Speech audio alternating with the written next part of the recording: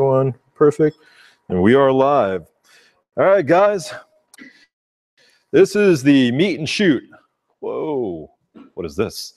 This is a meet shoot, a Speedlight introduction class. Uh, essentially, what this one is is a really fun one where we uh, we talk about speedlights. And uh, here's where I'm going to go ahead and admit something. Um, this can thing can either be both really advanced or really beginning, and uh, we made it both. And so today's class will cover everything pretty much. Uh, I should have charged you guys for this class. I'm not going to. I really got enthusiastic about it. It's, it doesn't seem as long as it is, but it's like 36 slides. And so uh, the reason why I'm mentioning this is there are people of different skill levels here. Ask questions. Uh, everyone, something I love about Meet and Shoot is you guys are always patient with each other and you're helpful to each other and so forth. And we know there's people of all skill levels here. If something goes over your head, this is your opportunity to ask us. If you feel like it's, I'll go ahead and tell you, it's a question that's going to take a while. That's why we have other members here. We have Chris here today. We have a, a few others, and they'll sit and chat with you concerning anything about speed lights. And so, all right, let me go ahead and hide this. Let me see what this says. All right, guys, I'll talk, talk about a little bit more in just a little bit, but meet and shoot. Uh, we are me, Trent Chau, Chris Warwick, who's over there, uh, Jamie Moore, who's not here tonight because he's with this lady. I'm going to go ahead and mention that just to pick on him. And uh, Patrick Sun, who hopefully will be here a little bit later. Uh, also, one of our admins for our page is here from Alaska. Where is he? Joel. Um, he's not here all the time, but he is one of the administrators for our Facebook page. So if you ever put up something and you don't follow our rules and it gets deleted, it's his fault. So go talk to him if uh, anyone has that happened. But um, we are meeting shoot guys in. You know, it's been fun. We've been doing this for a while. Uh, the venue is provided by Mike. Uh, Mike is here, or, yep. Uh, this is a great place, guys. Unbeatable price. For $50, if you get a membership here, you get two studio hours. So you get to come in here, you get to shoot. Mike already decided about a few months ago, hell, you, you can use the equipment that's already set up here. So not only do you get two studio hours, you also get studio equipment you can use. And so the reason why I like pushing this place, guys, winter's coming in, you can shoot, you can partner up with a few other friends. It isn't 50 bucks for both of you guys. You're gonna have to pay a little bit more of a premium for both of you guys to shoot together, but it's a studio, climate control over your head, dressing room, conference room, all that for a starting price of 50 bucks for two hours. It's unbeatable. So talk to Mike Noah. He'll get you a door. Uh, it's a great program. He, he gives us a uh, he gives us a free session every month to go ahead and host these classes too. And so we've had a really great relationship with him there. As always, we're sponsored by Aperture Rent. If you use the code MEETSHOOT10, Chris has mentioned it a little bit earlier, you get 10% off your total order. Um, it's a great thing, mostly if anyone here um, with the uh, with vacation time and holiday season coming in, if you're going to go overseas and you have your camera, rent one, guys. Because one of the things, for those who don't know, is you can rent with full insurance and rent a lens and all that, and it's going to be kind of like worry-free. There's something else when you go out there with your D800 and you're in Italy and you're kind of worried about that. You don't want to lug it around with you everywhere, but you know, so on. Uh, well, if you don't want a big camera, you want to try something out, go rent a Sony a7R, great full frame, small camera, get a lens with it, get it fully insured. You're out there taking a vacation, you're fully insured with your equipment, you're, you're taking photos and you have a smaller camera. So those are some of the, some of the ways where renting equipment can uh, be in your benefit there. Uh, the instructor tonight, some of you guys have seen this before. It's the most half-assed slide in the uh, thing. I'm Trent. I've been a photographer for a while. I teach a bunch of things about photography. Feel free to talk to me anytime about that. And there's my portfolio site. So check it out if you guys have a chance. Uh, I've been shooting for a while. So any questions? Nope. All right. A little bit more about Meet and Shoot, guys. We are an organized photography meetup group based in Atlanta, Georgia. There's a lot of new faces here, so I'm going to go ahead and go through with this. Uh, what we promise to deliver is amazing photo shoot, great workshops and classes, uh, stellar models, well-planned themes, and high-end equipment, and create a great unique experience. Uh, the core of it all, one of our mission statements is we will not do something or we will not host a shoot we wouldn't shoot ourselves. And so uh, we have, you know, um, we are professional photographers here. We've shot for a while, but what that means to us is if it means 10 with three lights each, there will be 10 setups with three lights each. There isn't a one light setup and okay, we're going to half-ass it because it's just other people. If we're not going to shoot it ourselves, we wouldn't host the event.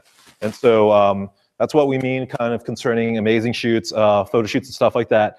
The way I equate it to people is who here goes to a nice restaurant, takes their wife or their husband out to a nice restaurant? Anyone here? I mean, most of us all. Yeah, everyone here. You pay for a good meal. You pay for the experience. You don't worry about it. Someone cooks it for you. Someone cleans it for you. You have that. That's what Meet Shoot is. We set up a shoot for you. We set up a class. You come there. You enjoy the service. You enjoy the experience. You get what you want. You leave. You're happy. And we handle all the internals. We handle getting the ingredients. We handle all of that and we just deliver you a, a, nice product or a nice product. And so, as always, we have cool shoots in the pipeline. Check out our meetup.com page and our website. Shoots can range from free to members, which we'll talk about to a little bit, or to a very low cost. All right, so the membership program. This is a membership event tonight. So what is that? Well, you pay $25 for the year. I see a couple checks and a couple, uh, um, uh, some cash up there. Um, so for, me, for probably from some new members here, um, you pay for the year, and what we do is we host about two a month now. We host member events, and they are free education courses. They're shoots. They're uh, just pretty pretty fun things that you do photography wise. Uh, these events are for members only. Uh, so what we are doing now too is also streaming these events online. You guys have probably noticed that there was about 60 RSVPs. I think it's down to about 57 now. About half of them are online. That's amazing. Because the, the other cool thing about this is we don't really hide anything about what we do, and it's all archived. So if you're a member and you just became a member, you can see all of our streams online. And you can go revisit them. And the cool part is there's a Lightroom one that I have up there. The reason why I love it is I show you how to edit in Lightroom. If you miss something, you just rewind it and rewatch it. You can watch it slowly, stuff like that. So that's one of the benefits of uh, the archiving there.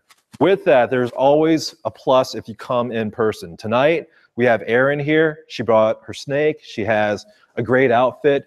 You can shoot tonight too if you brought your camera. So you can work with the models. There's always a little bit more that we do. And something that we, uh, this seems a little bit mean is we only stream online. We don't, or we don't answer questions yet of anyone who's not here.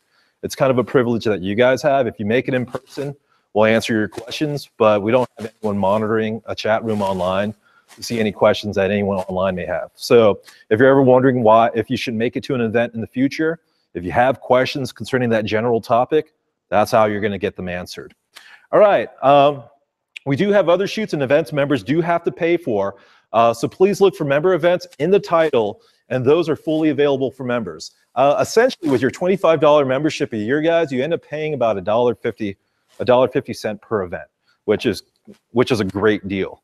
Uh, something I will go ahead and say is I might, or we might, because uh, uh, I might, or sorry, we might put up a, uh, a link soon. We do need your help. Uh, I love the streaming aspect. Something I'm not a big fan of streaming wise yet is it's a static camera. And so I'm trying to figure a solution where we can, uh, when we're broadcasting online, we're actually going to broadcast with a, a camera and someone manning the camera and zooming into whatever we're doing. And so we are looking to improve your online experience when it comes to this. But because of that, we may ask for any members who either have experience or anyone who just wants to throw a couple more dollars in, because $25 a year, you guys are probably, it's pretty minimal. And most other, like I think lynda.com, which is a, uh, you know, an education-based site, I think they're monthly where you pay 10, 15, 20 bucks a month. So if anyone's interested in helping us uh, expand that out, look forward to talking to you about that. All right. Next week, guys, we uh, we have a uh, we're breaking in another studio that we're trying out in Atlanta, and we have a costume shoot there. Uh, essentially, these are models who are dressed in uh, uh, fully dressed up in awesome costumes, things where they're just they're it's jaw-dropping stuff, and it's in Tucker, Georgia. So we hope to have you guys. Oh, actually, sorry about the the text. I didn't change that text. I apologize. Essentially, next week, sign up online. It's 25 bucks for a shoot. We set up a bunch of stations, and it's a great little studio area. We have, you know, black walls, stuff like that, and uh, you'll have you'll have uh, a lot of great costumes that you can shoot and just a, a great time. So, uh, yeah, avoid the text, guys, and uh, hope to see you next week with that. Also, avoid the guy named Chris that told you earlier it was at the other Alpharetta facility. Don't listen to him. yeah, it's a little bit too small there. And so uh, this one, we want to bring a few, uh, uh, some of our shoots back closer to Atlanta. A lot of a lot of our populations here in the um, sort of the northern belt, but uh, we're looking to go back into Atlanta in more of the uh, more of a studio environment. So, all right, guys, one-on-one lessons. Uh, I teach one-on-one lessons at our new office in Alpharetta, which is one Chris was talking about. Um, this is really cool here, guys. I love, I love facility education, but the problem about being in a classroom is you have 10 people who are hungry to learn. And you have one teacher who has to kind of, you know, make all of them happy. And In a two hour window or so on, it really doesn't work. You end up getting 10, 15 minutes with your, uh, you know, with your instructor. With this though, uh, there's a couple faces. I saw, see a smile on Mark back there. Um, I can promise you guys with the one-on-one lessons, they're fun and they hit exactly what you want. And uh, there, if you've noticed, uh, it says here it ranges from two to two and a half hours. Mark, can you tell them how our sessions go? There really isn't a time limit, right? Yeah, so like I'll charge you per session. There's a lot of great people who are like, hey, you gave me more than I expected. Here's a little bit more money. I don't necessarily care about that. For anyone who's wondering, I am not one of those people who say, hey, it's two hours, get out of here. Um, and so we cover what you need to know. The thing is, I will talk to you about what you need to know, but it's kind of like, all right, tell me what you want to do. Tell me what you're, you know, um, you know, we'll do we do a general consultation first, and then the education starts from there. And uh, I'm big and not just telling you like how I would do it or why, but every all the answers. Like the main thing is not, all right, this is how you do it, and this is how you always do it. It's this is how you do it, why, and this is what you're going to encounter problem-wise in the future, and this is how you troubleshoot it. You know, when I'm not there with you, can you do it on your own? That's that's the most important thing. I know it sounds silly saying it, but it's kind of like a parent. Some of us are parents here. Our children will fail. That's perfectly fine, but it's great when they can pick themselves up from what you've taught them and they can move forward with that. And so it's kind of the education uh, style that I push. All right, so guys, contact me later if you're interested. Some fun stuff on the side for anyone who draws. We're not going to say on this too much. We started a new group called the Alpharetta Casual Portraiture Drawing and Painting Meetup. Um, reason why I'm going to go ahead and say for you guys, for anyone here, maybe you don't draw, maybe you don't do any of that. Come check it out anyways, because it's how to interact with the model. It's how to see posing. It's how to do all that. We take the lighting that we do at Meet and Shoot and we apply it in an art environment. And so you can actually interact with the model, talk to the model, and also even book work with the model, because a lot of them hybrid photography and art models. So for anyone who's looking for models, this is a way to do it. But for anyone who's even just interested in learning how to pose models, this is these are one of those things that you can do. Uh, uh, something like this is something you can do to start learning it. All right, guys. Uh, today's model is uh, today's model is Erin. She's getting ready, but yeah, if uh, if you guys shoot with her, tip her. Uh, please tip the model if you can. I mean, it's completely optional if you guys want to shoot or not here, but she's amazing. And yep, so it's outstanding. So, yep. And so yeah, it's really it's really unique experience. Uh, we love her. Uh, she's here. Uh, she's doing also the November 11th film noir old Hollywood shoot, which has a few other models too. And she was our last year. She was our snake charmer and uh, just absolutely gorgeous. So um, we will have her uh, posing for a little bit later, and if we can get a chair for her, Joel, because it's a lot of sitting in the beginning. All right, guys, now for the class. Speedlight introduction. What is this about? All right. Lighting is absolutely what everything for, is about photography. No matter what we do, no matter what we shoot, if it's you know if it's a muffin, if it's a kid, if it's a child, if it's a mountain. The only thing we're actually capturing is how light hits it. No matter what your subject is, all photography is, is how light hits it and how it's perceived by your camera. And so saying such, being able to bring and use a powerful light with you anywhere is one of the most skillful uh, or skillful or useful tools and skills as we can have or we can have as a photographer. So the lecture is about a speed light, a little device that puts out light uh, puts on an enormous amount of light and lets you, you know, bring your photography to the next level. This lecture introduces the portable battery-powered speedlight unit and talks about all the magic you can do with one little simple tool, which is this guy right here. This $100 device and how it can really change your photography. So make sure this one's on. All right. Here's a list of some of the things we'll talk about today, guys. What is a speed light? Which one works with what camera? ETTL and manual, what is that about? Uh, triggering the speed light, modifying the speed light, getting the most out of a speed light, understanding limitations and benefits. Uh, here's a couple, there's gonna be a couple eye-opening things for you, uh, and those, and that right there, and what speed light might be best for you. As always, feel free to ask any questions while I'm doing this. If it pertains like to something that's on the screen, I'll answer it immediately. But if it's something where you're kind of like thinking, hey, should I ask now or later? Do ask it during some time. And, um, you know, I'll give you an honest answer with that. All right. Um, and if not, Chris will too. So if you don't see anything, if you if you don't see anything up here that you wish was covered, we would talk, or we can talk about it also. Just feel free to ask questions. All right. So what we aren't covering, guys, this is an introduction to speedlights, and that's un or, and speedlights that are universal to all camera systems. Speedlights are uh, on one part very, very proprietary. There's Canon, there's the Canon system, there's an Nikon system, there's the Sony system. You know, the Canon system um, has certain um, certain aspects about it. The uh, the CLS system from Nikon is completely different than Canon, which now went to a radio solution, stuff like that. We're not going to really necessarily get into in depth about each system because you can have individual classes with them. But if you ask a general question, I would actually say, I hate saying this, if you're more of a Nikon or Canon shooter, feel free to ask it because it might help a lot of people here. But if it's something deep and involving, it really is, hey, just ask me that later and we'll talk about it. I'm a Canon guy. Chris is a Nikon guy. If anyone has any questions concerning those two specific systems, feel free to ask or talk to the person who is probably more than likely comfortable with that system. All right. So in this in this class, we'll ask uh, we'll answer general questions. Uh, this lecture is meant for dummy type manual speed lights, ones that pretty much you set the power ratio on it, and you either tell it to trigger or not to trigger. So a basic speed light unit. All right and as um, as such, I will go ahead and say this: this class is a beginner or an introduction. So some of you guys, are going to know this, some of you aren't. We're really actually we're going to break it down to the anatomy of the speedlight first, and a few things there. Uh, something that um, Dino um, Dino told me two years ago, which was important to me, was he tries to leave every class knowing three new things. I'm going to go ahead and bet that you guys are going to learn five at least five, everyone here.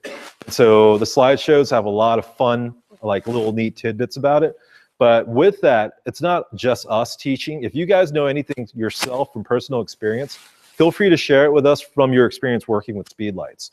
But a speedlight unit itself is a self-contained flash unit that is battery operated. I want to go ahead and say this, guys, a light is a light. Everything that you learn in today's introduction can be applied to every type of flash unit. So if you buy a studio strobe, the modifiers also are modular and go to a studio strobe. If we talk about moving a light around, it works with a studio strobe. They, a light is a light. And so just go ahead, uh, just go ahead and be aware of that. Uh, while you're working with your small typical speed light units, anything taught in this class can be applied to any light. Who here doesn't have a speed light at all? Are you looking to buy one or? Mm -hmm. Uh, so who here has one? Like most everyone here does. I mean, it varies. Do you guys have your own manufacturer's speedlight, so forth? And then some of you guys may have third-party ones. It's good to have one. So what should you look for? Speedlights vary in price and options. The most ideal ultimately as a photographer is one that allows manual control. And so the 420 EX from Canon, does anyone have one? It's an older one. Problem with the 420 is it works, but it's automatic only. You can't manually say, I want this specific power setting. The reason that's uh, it's a bad thing on automatic, guys, is when you're on automatic, your camera's analyzing the scene and it says, this is what I think it should be. If you slightly vary the angle of your camera, that power setting could be completely different. And I'll go ahead and say this, the, the scientific process person in me kind of needs that control and needs that, the ability to lock down a number and consistently stay there. And so when you buy a flash, all of them now should allow you to manually control them. But if you have an older flash, it might be time to go ahead and say, okay, I'm going to go ahead and go to the newer ones because the newer flashes you can get them for 80 bucks, 90 bucks, and they're full, they're fully equipped now. It's gotten to that point in time now where with all the options from China and so forth, flashes have gone down extremely uh, low in price while giving you these options that used to cost five to six hundred dollars uh, six years ago. All right. The other thing is movement flexibility. An articulating head is one of the most important things that you can get for a flash later down the line. So if anyone's looking for a flash and you have the option. I know mostly Canon numbers, so apologize. I apologize to Nikon people. There's a Canon 270EX. It's a flash. If only forces are only points face forward, and then points up. You know, it has movement, but you know it has restricted movement. You go to the 430 or the 370, and all of a sudden you have an articulating head that can point in any direction. You want, you know, the, the better idea is to have a flash with an articulating head, and that's movement. So look for both of these options on the body of the flash. All right. Um, is there any questions before I move on, guys? Remember when I used to used to battery power, just cheat up so many batteries and you have the battery and it's not giving off enough light. What are the options on that? Do you have any rechargeables? Yeah, actually, I will go ahead and suggest that in a little bit. There's a slide, I believe it's uh, two slides from now, and we'll go ahead and talk about that. All right, guys, so going back to the articulating head, when looking for a speed light, once again, try to find one. It's one of those things where it's really useful. The only thing to note, though, is some speed lights will lock if they're in a certain area. Don't force it, it'll break. It sucks. Like this one will stop going from this direction, and you have to go the other way before you can go further. And so if you feel a hard stop, make sure you don't do anything. Also, some of them have uh, buttons and so forth. And one last thing, any Canon users here, you have one neutral pose here and one further down. If your camera accidentally gets hit, gets pushed further down, you'll lose half your automatic settings. And so you want to slightly adjust it back up. It's really weird, but for any 580EX users or any 600, if it gets tapped down, all of a sudden your menus will start flashing. You don't know what's going on. You just tap it slightly up. So it's one of those things where uh, you want to be aware of that. Um, all right, so articulating head, you guys are good there. All right, the bottom of the speed light, the hot shoe. On the bottom of the speed light, something called a hot shoe. The center pin is a universal firing pin. This is where it's important for you guys. If you um, if you look on this flash, there's a there's five pins right here. This center pin right here is a dummy flash pin. If you if you get another flash, let me go ahead and that's just a pure manual flash.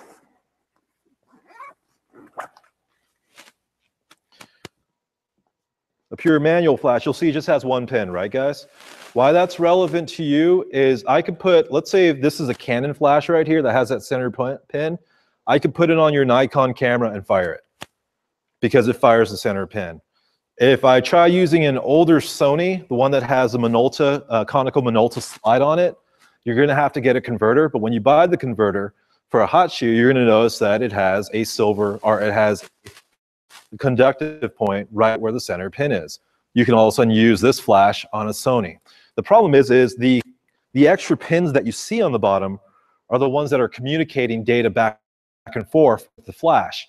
You don't have automatic settings on those flashes if you're just using the dummy center pin. Um, but the important thing to note here is anyone can grab this flash right here, put it on top of have a usable flash. And so it's pretty useful there. And as you get used to it, yes, automatic is great, but sometimes you are caught in a foobar situation and you need a flash. You go to your bag, you grab one of these, you put it on your camera, you adjust the power manually, so you're going to have to learn how to do that. But all of a sudden, you have a working flash on your camera. So one of the cool things is when you guys buy one of these, it is a flash that you can put on top of your camera that works just like a normal generic hot shoe flash. All right, does anyone have an old, um, oh my God, what was the, uh, the 280 VC, or I'm trying to remember that old flash, the, uh, the 285, the Vivitars. Does anyone have the older Vivitars before the, like the HC or whatever designation? They had a lot of power. The only problem is on the hot shoe, uh, about when digital came in, um, it doesn't require that much of a voltage to go through the hot shoe. If a, if a great, great uncle or an uncle or someone gives you a flash and it's an old Smith or so, if it's an old Vivitar, uh, if it's older than 20 years old, it will fuck your camera up because it actually sends a large amount of voltage through the uh, through the hot shoe. So uh, it's strong language, guys, but be careful because it's taken out a lot of cameras. Um, so that's why uh, Vivitar has uh, released one like 10 years ago, eight years ago, that doesn't release the same amount of voltage out. So older flashes, make sure to look up on Google or so on and see how much voltage is going through the hot shoe. Because if too much is going through, it's going to fry the circuits on your camera. And your camera's going to stop working. Um, try not to sound like fearful, so and I just don't want anyone to all of a sudden be like, oh, I'm going to use this old flash on my camera, and all of a sudden it kills your camera. You can use external- External, right? You could use external triggers. Yep. So, all right, guys. Going to the next one, the anatomy of speedlight batteries. Um, you're mostly sitting at the beginning of this, so I'm sorry about that, huh? Um, most flashes, guys, use AA batteries. This is where uh, I'm going to talk about a little bit more. When you first buy a flash, guys, you're probably going to use alkalines. That's perfectly fine. Go ahead and get NIM batteries. Uh, NIM is actually older battery tech now, but it's still the better one to use. There's a couple of reasons why, which I'll go over in a second. But the main thing is you get the you get more bang for your buck when it comes to having NIM batteries. And so buy a couple packs of Eneloops. It's going to be a little bit more expensive at first. You buy two packs of uh, or two four packs of Eneloops. It's going to be $21.99.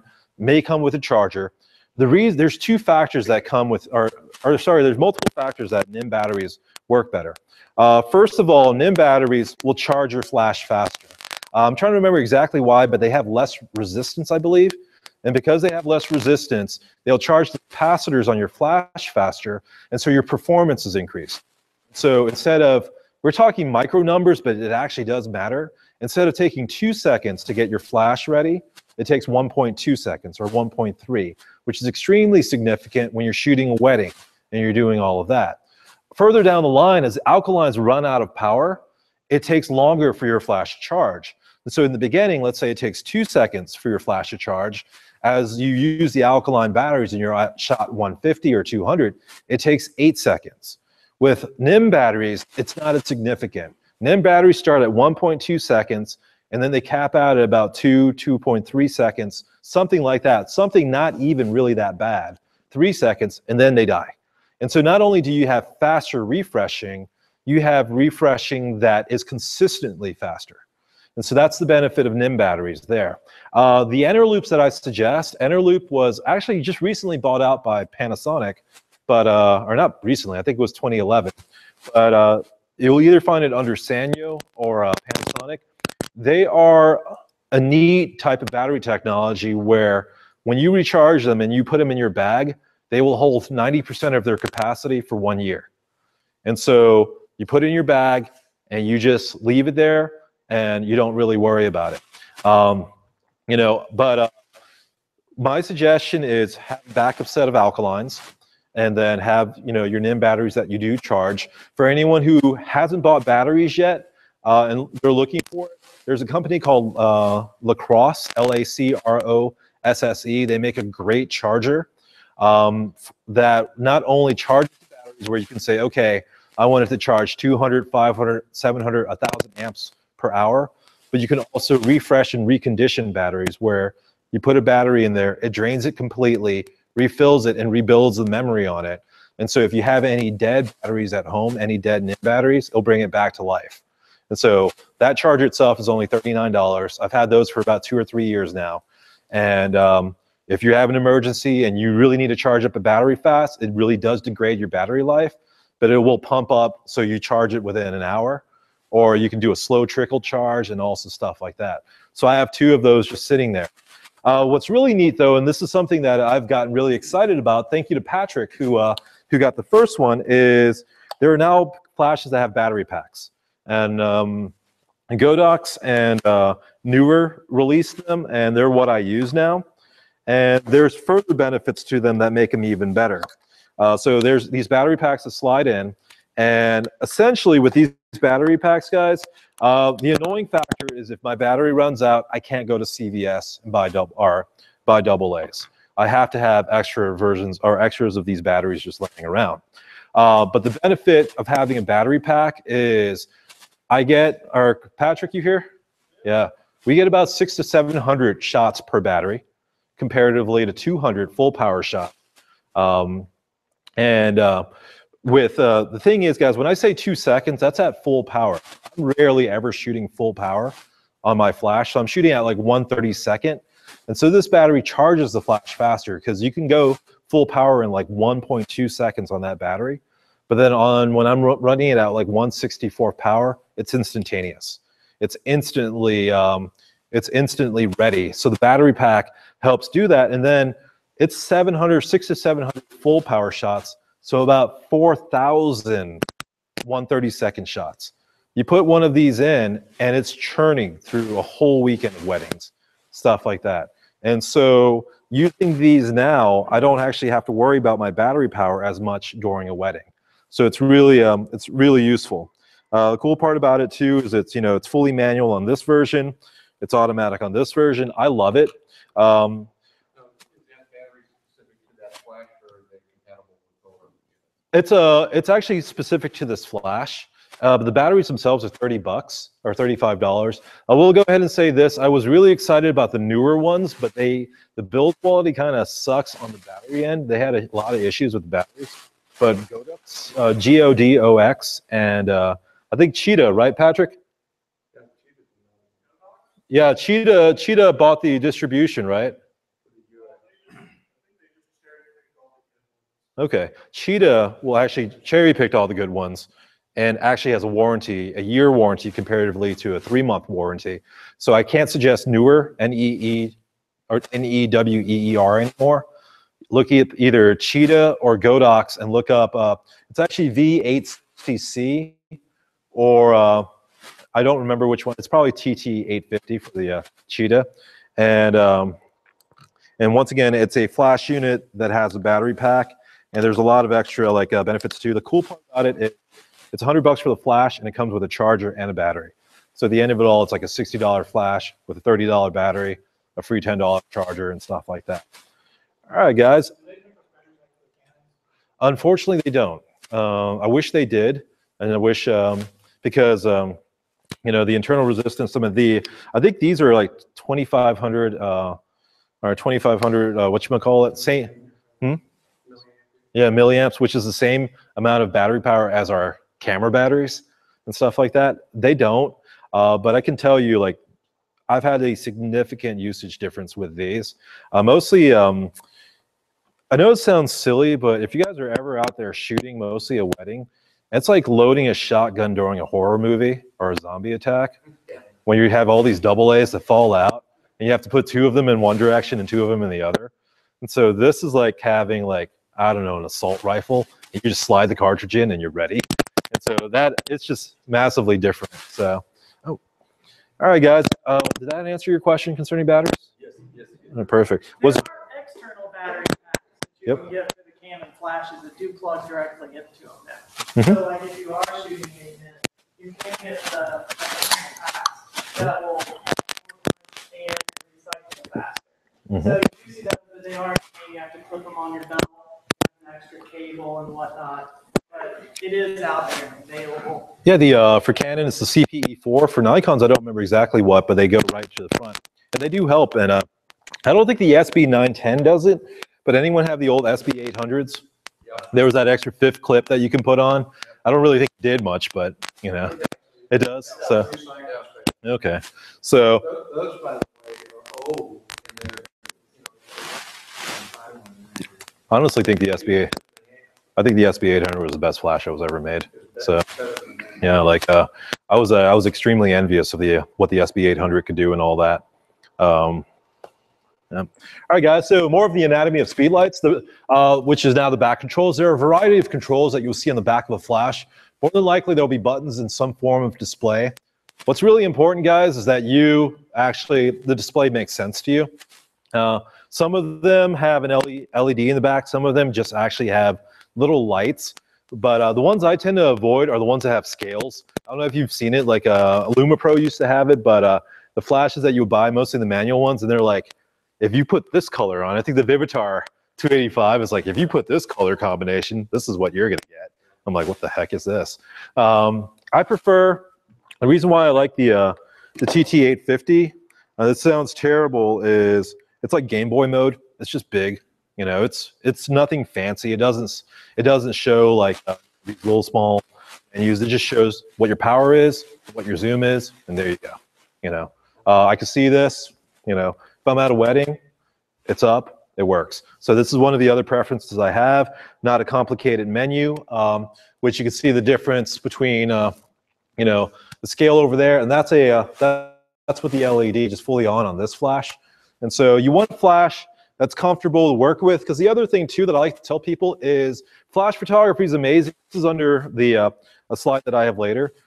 But something I've noticed, mostly working one-on-one with people, is the disconnect that a model or a client will have with someone when all of a sudden they're just fidgeting with their equipment and not paying attention to them. The cool thing about this, I know it sounds like this is a love story with this one, guys, but it kind of is. If I go up to it and I roll this wheel, it goes up and down in power.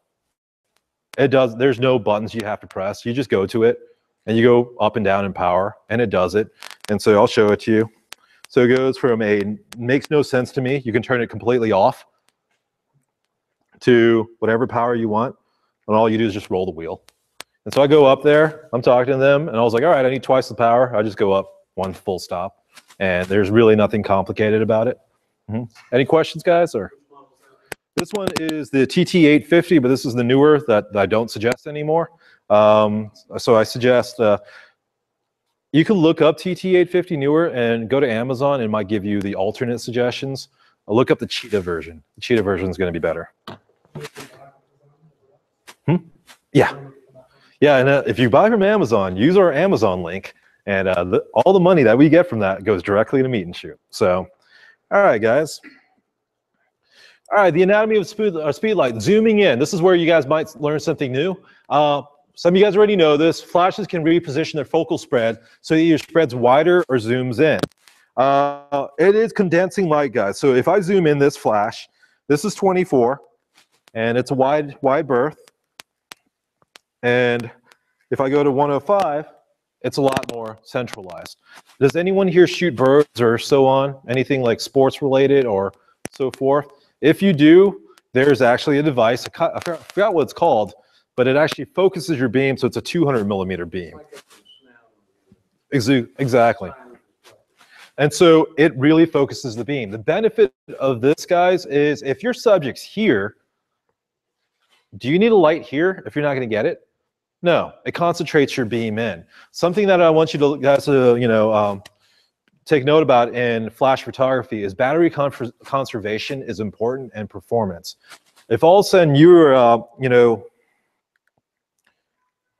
you're at 24 and you're flashing wide and your subject's only in the center, if you put it at 100, it's condensing the light, it's hitting the center, and you don't need as strong of a power to light your flash. And so all of a sudden you're at full power to light the subject you're at one fourth power when you're at 105. Why that's relevant is now your flash refreshes eight times faster. And so those are some of the things that we do um, when we do like wedding photography or so on. Uh, with these units, something I'll go ahead and tell you guys is wedding photographers, we use ISO 1000, 1250, 1600 without a worry in the world. The reason why we do it is a lot of you guys may think, oh, ISO 100, great clear shots, I have a flash. Well, as soon as you go to ISO 1600, your flash needs 16 times less power to be used.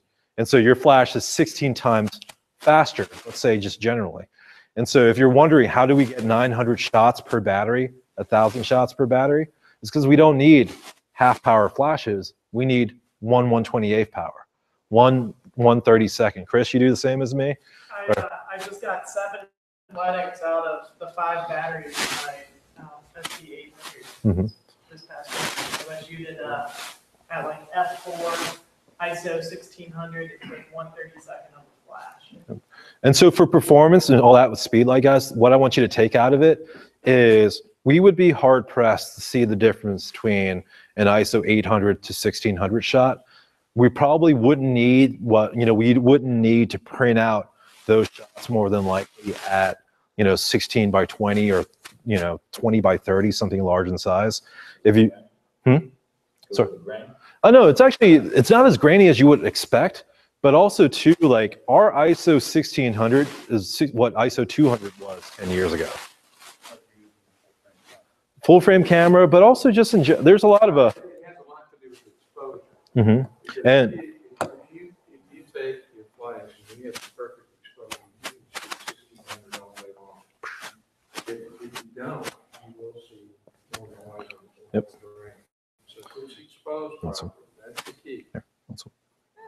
But and also the cool part about that too, uh, for those who um, are wondering why we, we would do that, is you're also matching ambience. Uh, We don't have a slide in it here, but one of the biggest faux pas that a person makes when they first get a, a flash is like, this is where all the light comes from. You don't want that mentality at all.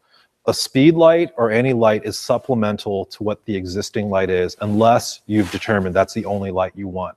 So if you're shooting an event and you're at a venue hall and there's down lighting or there's up lighting everywhere, you want to capture that. If you think your flash is the only light providing light, then you don't get any of all of that. You want that flash to just go ahead and complement the light, light that there or light that's there or supplement it. And so that's, you know, it's important to go ahead and manage that about a flash. What I do want to show you guys here though is you guys may have noticed these before. Um, for anyone who doesn't know what this does, this is actually a diffuser that spreads the beam even further.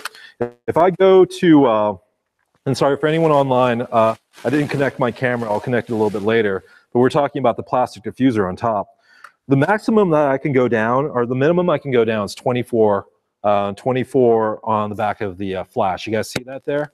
Which means I have a 24 millimeter wide zoom. As soon as I take, as soon as I take this guy out, and it's not going to show it on this one, uh, but it will show it on my other one. It's considered a 14 millimeter zoom. The problem that I see a lot of people do, this is as an instructor, I don't think anyone, I don't know if anyone here does this yet, is they, as soon as you put this up, it kills your power dramatically. And so just be wary that this is actually not like a softening device. It's a diffuser that spreads the beam out. If you're shooting with someone, you're outside and this go ahead and comes out, you're forcing your flash to shoot more powerfully to get more of a result and you're killing your power. And so just be care, be wary of that. And so something uh, something to note even too is if it's even partially out, your camera is going to zoom to 24. Sorry, your flash is going to zoom to 24. So you want to lock it in. Um, if uh, so, once again, if it's even slightly out, just push it back back in. Flash will say whatever zoom level it's at. Uh, for many of your flashes, if you guys want to turn it on, try it. If you move this up, it'll go ahead and go down and say 14 on the back of it. Are you talking more about the the white flag or the, uh, other? Uh, the uh, the actual trans the trans or the uh, the one that you can see through. Yep. So that one right there. And so if you turn your flash on and you go ahead and pull it up, you'll actually see the uh, the numbers change on the back. All right, so guys, just be uh, be wary of that. But also for any sports shooters, any like any bird shooters or so forth, there is a device. I don't remember what it's called. Um, it's like a flash scope of sort, but it forces a beam light, and it also it's actually something like that. Gives you four times the power. But just yeah, just be careful about those because you know your flash gets hot, and if you're shooting 15 straight full power shots, it's going to get hot. And it's a uh, the first few that they had really like it works, but they couldn't put vent holes on it, and so it was just baking the internals even more. But just be aware or be aware that you can zoom in that beam. All right. All right, so we're not going to necessarily talk about TTL, guys, but I want to introduce you guys to it. Uh, what is TTL and what is manual? Most flashes allow you to manually control the flash, add more power here, take it away. TTL is part of an automatic metering that tries to analyze the scene and then adjust your flash power for you. What TTL stands for is through the lens. What happens is your flash pulses out a light right before it flashes. Uh, if anyone wants to know what it does exactly, is it puts out a flash at 132nd the power. It analyzes the scene real quick and say, okay, this is what the power should be. Quickly adjust your flash to that power and then takes a picture. This happens all within a quarter of a second, not even. It happens like instantaneously. The problem is going to paragraph two is you can use a flash to trigger a studio strobe that has slave mode on. Has anyone ever done that before? It's a smart thing to do. The bad part is TTL actually has a pre-flash that goes off that will pop your flash off, and by the time your flash goes off, your studio light's done. And so it actually you don't see a result. So if you're using, you're MacGyvering it, you forgot your studio triggers at home, and you take your flash out, or you pop up your flash on your personal camera, put it on manual, or it's not going to trigger your studio strobe. Unless it's one of the newer strobes that have a smart mode on it that detects the TTL pre-flash. And so that's the main thing I want to note there because something that's really cool is I'm going to go ahead and pimp this one out again, but a lot of flashes do it. Let's say my batteries are running out on my triggers. I don't have a I don't have a receiver for this one, but I have a receiver for my main flash. So I go to mode on this and I choose S1. The reason why I choose S is now it's actively looking for a pulse of flash. So I turn this guy on. So that's 130 second power. I'm triggering this flash with this flash, but if this was a TTL one, this one will go off on the first one. But now if I put S2, mode S2, it's actually waiting for the TTL signal, and then it's gonna pop when my flash goes off. So this little unit right here, and a lot of the units now that are out, not only will it work if you put a receiver on it, but if you're the only one shooting, you haven't bought a lot of wireless receivers yet, you can put it on S1 and S2 and it's detect another flash and go off. So it's pretty useful, guys. Mostly if you're building your, your set, you have a limited budget, you can't buy another receiver yet, you could still buy one of these and use it immediately if your other flashes will trigger it. So once again, if I hit that, I'm sorry, um, you make sure it's, it's on, yep. Oh, shoot. There you go. I was covering the phone. So it's f- triggering uh, by detecting the, uh, the flash that's going on. All right, guys. Um, concerning TTL, we're not going to cover it today, but TTL has some great benefits. Um, essentially, you guys may have heard it's it's it's not new. I mean, TTL has been out for ages, but has anyone seen the uh, oh, what is that extremely absurdly expensive Pro Photo? Uh, the new Profoto battery powered flash, where they're like it's TTL base. Essentially, you have a transmitter. It does basic TTL and it does your exposure for you, and it gives it to you. I hate saying this, guys. I'm not one of those guys who are like manual only, but when it comes to studio lights, I hate the idea of if you set up a studio light here, that you're it's randomly giving you whatever setting it thinks it is. I've always been in it's there. And as long as your subject's there, don't worry about it. And don't worry about this numbers that's changing every time you hit a flash. So- you- if you set it in time, the- the next one, the night before. it's handy. But seriously, you should, you know, you'll, you'll go to the, uh, distance and the f-stop, because once, you shoot it, once you, once you have one setting, you've got them all. So Yep. Well, we'll say this. Something that's really cool about the TTL systems, and for anyone who's interested, is not only do you have automatic systems, but you can also manually control those flashes from your camera. And so, for anyone, has anyone heard of the Canon's radio system, the RT system? You can go full, but you can go put a flash up there and say, okay, that flash, which I'm going to designate as a C flash, so it's in group C. I want you guys all now to be at one eighth power and you can do that or right at your master unit. And so it's still shooting manual, you're giving it manual controls, but instead of going up to it, which it might be in a Raptor or it might be something, you can go ahead and adjust the control. Yep. And so, but the re- reason I like the Canon one is it actually is a, uh, it's a full feedback system. And so that flash is going to actually communicate back to you and tell you what its powers are. And so I'm not going to really necessarily win over anyone on this because I have no reason why it would have won, it won me over. But it's a really interesting system on Canon side because now all of their flashes, I'm telling you this so you guys can mess with someone at a wedding. You can go to their flash and hit a certain menu and trigger their camera. And so I didn't tell you that, but you can. Uh, if you go to the first menu, there's an option to trigger the main camera with the flash. And so that flash will actually send a trigger signal to the camera. Why is that useful? Because if anyone has ever seen like a Greyhound race or something like that, if a guy's out here shooting, you could actually hit a switch and all the cameras that he has set up will shoot every time he shoots. And so it's pretty neat. And so, yep. So it's it's pretty neat, mostly when you have uh, when you have all of that. All right, guys. So why use it off camera? Light moves in a three-dimensional space around your subject. Um, and on opposite side of where light hits is a shadow. Uh, for anyone who's taking classes from me, you guys know I repeat that religiously. Um, and so using Aaron right here, this is not a strobe. The problem with the flash is when you're directly on them, you're on camera access the light's hitting your subject completely. You guys can see that with me, right? So there's a little bit of shadow detail there. Might not be much, but as I go further up, there's a little bit more shadow detail. Where depth and dimension is created by shadows that fall upon us. So on your subject, if you're able to move the light around, you can really, really manipulate the feel, the drama on your photos by being able to move the light around your subject. So that's why we do what we do with studio lights, with a forth. The reason why I love it with speed lights is you have portability there and also affordability. You can easily start, you can easily get one of these speed lights for six and start moving the light off camera.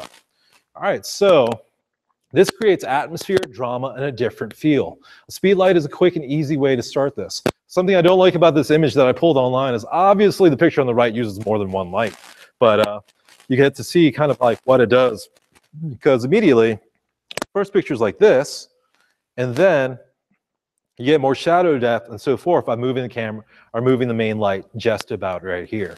And so that's one of the things that you can do with a, a uh, off-camera flash. All right. Any questions, guys, before we go on? Make sense to everyone? All right. So a little bit more with that. Um, triggering solutions. This is where we're going to go ahead and get a little bit more technical, but hopefully answer some questions for you guys. Uh, when you get an off-camera flash, uh, there's a couple ways to trigger it. With a cable, without a cable. Um, with the cable is the easiest way to do it. Um, essentially, you have a long cable. Uh, there's various ways that go directly to the flash and go directly to your camera. The benefit of a cable, uh, for anyone who's interested with it, is you can do ETTL over a cable for a very affordable price. To do ETTL over a wireless trigger system, which we'll talk about a little bit, you'll start your basic, you know, your basic cost to play is about $200.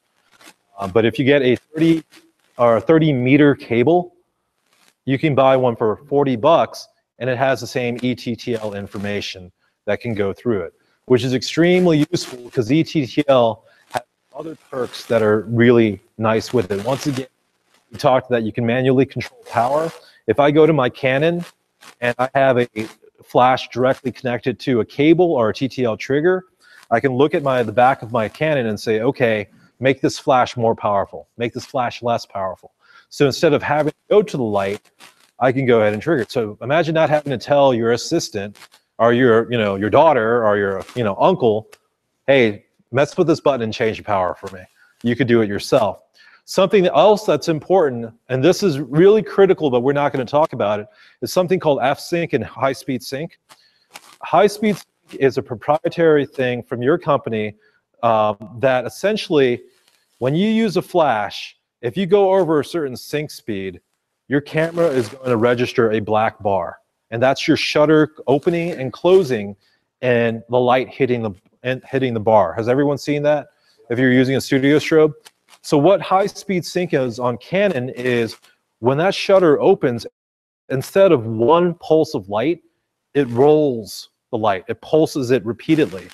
And because of that, as the curtain opens, light here, light here, light here, and you can break that one, one or one two hundredth barrier. You can break that. You can go up to one one thousandth. You can go to one eight thousandths of a second. But the problem is also that flash is that much weaker. So um, the reason why this is relevant to you is if you use wireless triggers, dummy wireless triggers that are not uh, the more expensive ones, you can't do high speed sync. You're limited to your sync speed. If you go over your sync speed, you'll get a black bar. That's how it works. But if you use a TTL cable or if you use a, um, a wireless uh, trigger system that's capable of doing high speed sync, well, you can jack your camera up to one two thousandths of a second, one four thousandths. And that's actually really useful because now you can use a flash outside with your 1.4 lens shooting at ISO 100 during midday sun. And so it's really useful because if you try shooting at 1.4 during a sunny day, you're at one eight thousandths of a second. You're at one, you know, four thousandths if you're in the shade. But now you can actually go ahead and use a flash outside and still be within be within that. So is it useful?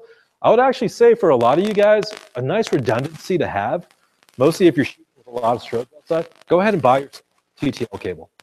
Buy yourself a long one and put it somewhere in the back of your car. I'm a big redundancy fan. Shooting weddings, we can't ever tell a client, hey, I'm sorry, my camera's dead. Can't shoot your wedding. You know, that doesn't happen, right, Chris? And so, do we have more than we need? Yes, because that's what we have to do. And so, a TTL cable is one way to do it. You can trigger your flash, you have your automatic settings, you have TTL, and you can go ahead and uh, trigger it remotely. All right, so on the other side, you have a wireless solution, which we'll go to the next one.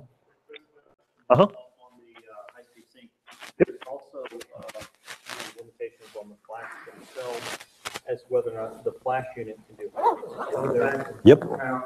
high-speed sync. Yep. So, so some of the, some of the, some of the, the cheaper lower-end models can't do high-speed sync because they don't have the right mode or whatever it is. Yep. To support that. Yep, high-speed sync, and also uh, high-speed sync is something that third-party companies, mostly from China, have been trying to reverse engineer. Like uh, they've been going crazy with. Good job, Chris.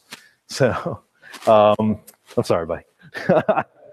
um, you know, and so some implementation implementations of high-speed sync doesn't work well. Some uh, some do. Uh, does, has anyone ever used a studio strobe outside? I'm going to give you a strange, weird, weird hint here. Uh, for those who don't know, the way a studio strobe works is um, it doesn't put out more, or sorry, it doesn't put out more intensity of light. But when you use a studio strobe, instead of putting out light over, say, like one eight thousandth of a second, if you put the power up, and now it puts out that same amount of light longer. So instead of putting a quick one eight thousandths, it puts out light at one one thousandth of a second. So for a lot longer window, it's open.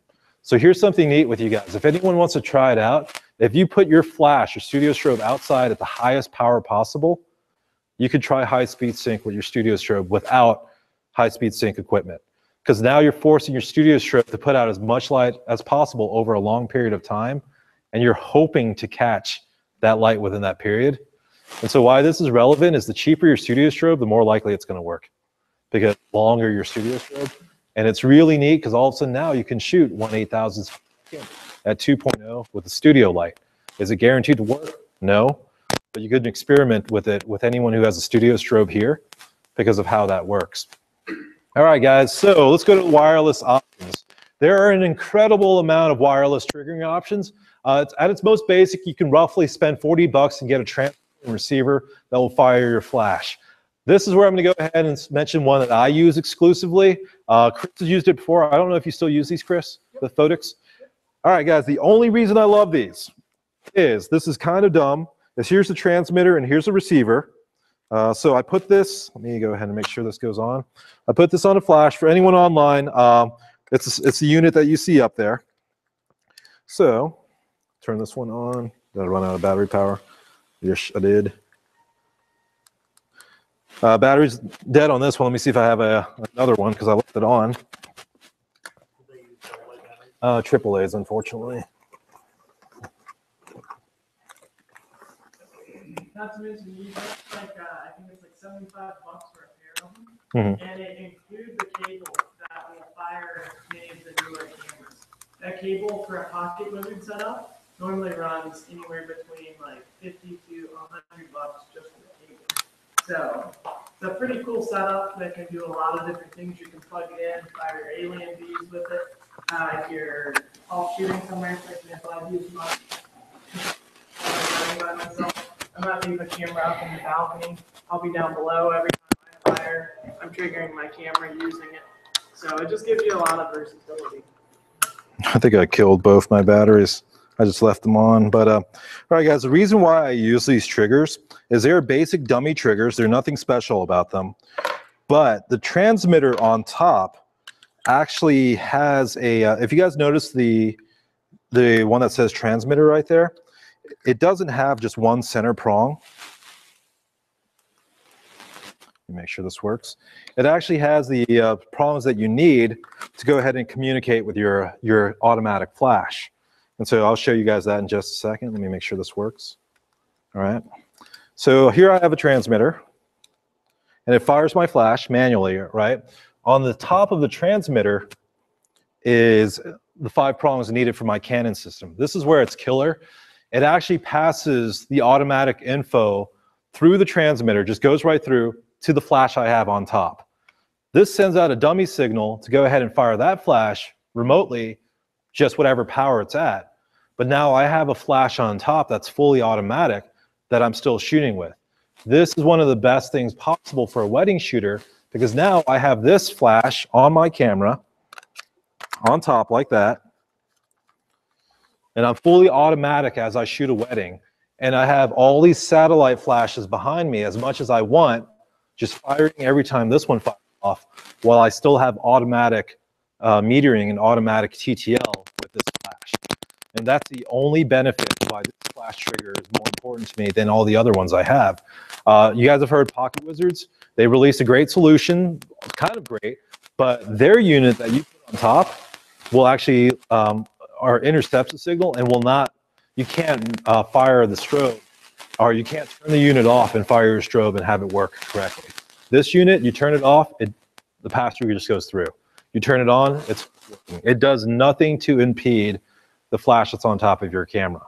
Uh, other units like um, the ca- Mhm. Yep. I don't know. Uh, I haven't. Yeah, I haven't tried it yet, but uh, I'll go ahead and say with this one, uh, what I do love about it is it you know it takes up no space. Anyone who's over there, flashes that correctly, and um, for anyone who doesn't necessarily know about like flash systems yet, I can put that flash right there on. I can put it on B, C, or D, and so if I put this unit on D, right here, go ahead and put it on D there. Right now it's popping because D's lit, but if I take D off right here, it's not going to pop. So I can immediately say, I don't want these flashes in the shot. And it'll take it off completely. And then there's a bunch of channels too. So if anyone has the same unit, you can go ahead and jump to whatever channel you want. But it's pretty useful. It's really quick and easy and allows you to adjust your flash as needed. And so it's really killer mostly for anyone who's trying to like uh, isolate their flashes and setting it up in studio. You can say, all right, this studio light's B, this one's C, D, and stuff like that. And so, I was gonna say, that's mentioned like, when I have two receivers, three flashes, one on top of my camera, one in each corner. During a first dance, it might last maybe two minutes. I can go through four different lighting scenarios with just a quick switch of the button. I can use my nose on them when I them just to hit it really fast and keep fire. So to be able to get four different setups under two minutes, I can offer them a lot of different levels from one quick time. Yep. And like any other tool, you get more experience as you use them. Uh, I'm a big Canon guy. Uh, like I love the Canon new RT system that came out two years ago. I think it's amazing. But to enter to play, three lights, one transmitter, that's I don't know if you guys have done the math. That's about 1,700 bucks. No, actually, with tax, about 1950. Five uh, 549 per flash plus a transmitter. To get three receivers, three flashes, mostly that I'm going to use dummy wise, it's sub $500 when you go when you do it this way. And so for a lot of us, like the Canon system's great and all. I tried it, but every time I looked that I had to spend $540 to get the next flash in to have the convenience of putting it on manual over why I went to this system. But uh, wireless option, guys, is there any questions that you guys have? Or is, is that generic or you can buy for specific cameras? Oh no, it's actually uh, you want to buy it specifically uh, for whatever camera because your pass through is going to look, you know, your pass through is going to look Nikon, I believe, is four, you know, or and then Canon is one dot and then four on the bottom. Uh, the cool thing though is they are dummy triggers. So if I give you guys this trigger, uh, if the Canon one and you put it on your Nikon, it will still remotely fire all the flash. It just will not fire your flash automatically if you have one on top. don't know if this applies to cameras, right? We Need to be aware of whether or not it's gonna work this shit out. If it doesn't, you don't. Yeah, the uh, I believe that one does work with CLS. So because yeah, it's it literally is a dummy pass through. Does not interfere with any signal. Does not do anything other than pass the signal through. I mean, at its most basic, guys, you guys can see probably why I like it. It works. It does what it's supposed to but it allows me the luxury of my own system or dealing with whatever. Uh, the funny part too is like um, this seems like really silly, but if you guys have a set of these and you have another set of triggers, you put this on your camera. Let me see here. If you ever run out of uh, transmitters, this has actually happened before a meet and shoot. You put your other transmitter on top, and it'll fire every receiver that you have of this unit and this unit. And so um, I know it seems really weird with that, but we've had to do it before. Like you put a CyberSync on top, a PocketWizard. I know it seems weird, but it will do it. And so um, it's just it's the fact that it has a pass through that makes that makes it work for me. And then on this end, what I like about this is there's a dummy thread on the bottom on the receiver. And so that leads into the next slide, which is the setup. You're setting up a studio, or when you're setting up portably, uh, guys, if you're at your most basic, um, the reason why I like this receiver is on the bottom is a thread. You just go ahead and thread it in, and your flash is ready. There you go. I want to admit something that is completely stupid and I didn't realize. Who here is a uh, Canon um, 600 or 580? Is anyone here? There's a thread on the side. That's a tripod mount. You just screw it on top of your flat. I've never known that. Stand. Yep. Yeah, there's yeah on the side of your Canon on your your high end one. If you're ever in an emergency, just screw your light stand into it. That's what it's designed for. I never knew that.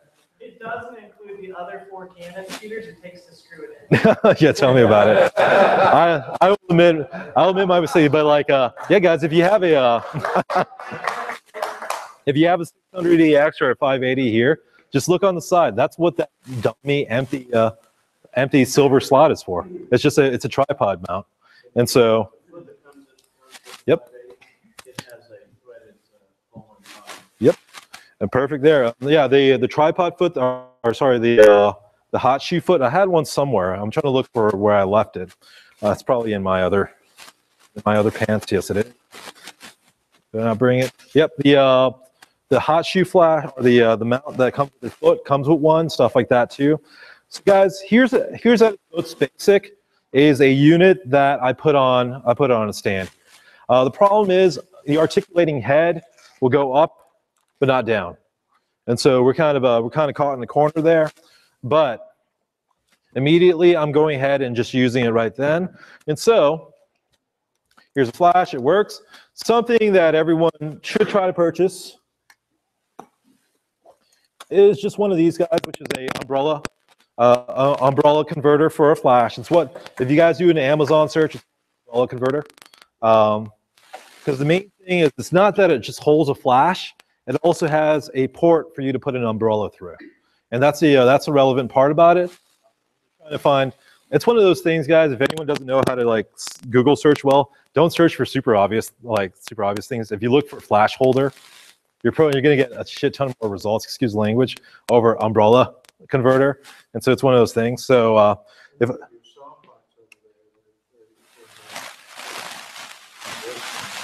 mhm. that that one does, yeah, that one does too. So right there. So um, Don't, don't say, don't save money, when you go look at the, uh, the brackets, that will uh, turn, the one in the center, mm-hmm. because, uh, they make those things, you, you can buy them for five dollars, you get a for ten. hmm This one is a um, this one right here is a unit from I'm trying to remember.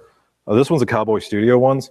It works, and so essentially, the reason why you get this, you just leave it on your uh, stand if you want to, and then now this clips in your hot shoe. Me go ahead and lock that down.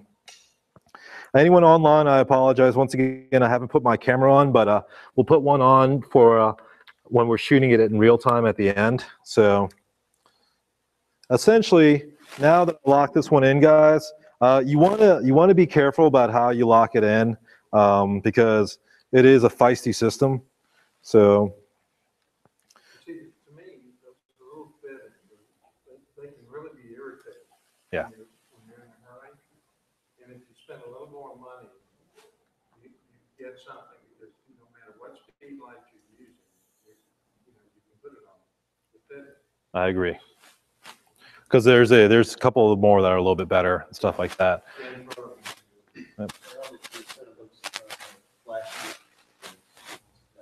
Yeah, actually, I think uh, it's this guy right here. This little. Has anyone not seen one of these before?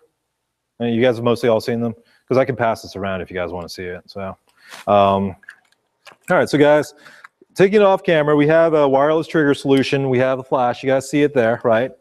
And so now we have an articulating head that goes up and down here, but we also have this guy that goes up and down there. And so you have the movability that you want, and you get it there. A super clamp, which is really useful. I didn't bring one. I had one packed, but I forgot to bring it. Is these guys are univer- they universally go on anything here. So if you're right by a tree and you don't want to set up a light stand, you clamp the super clamp to it, and you put this right on it, and you put your flash on it.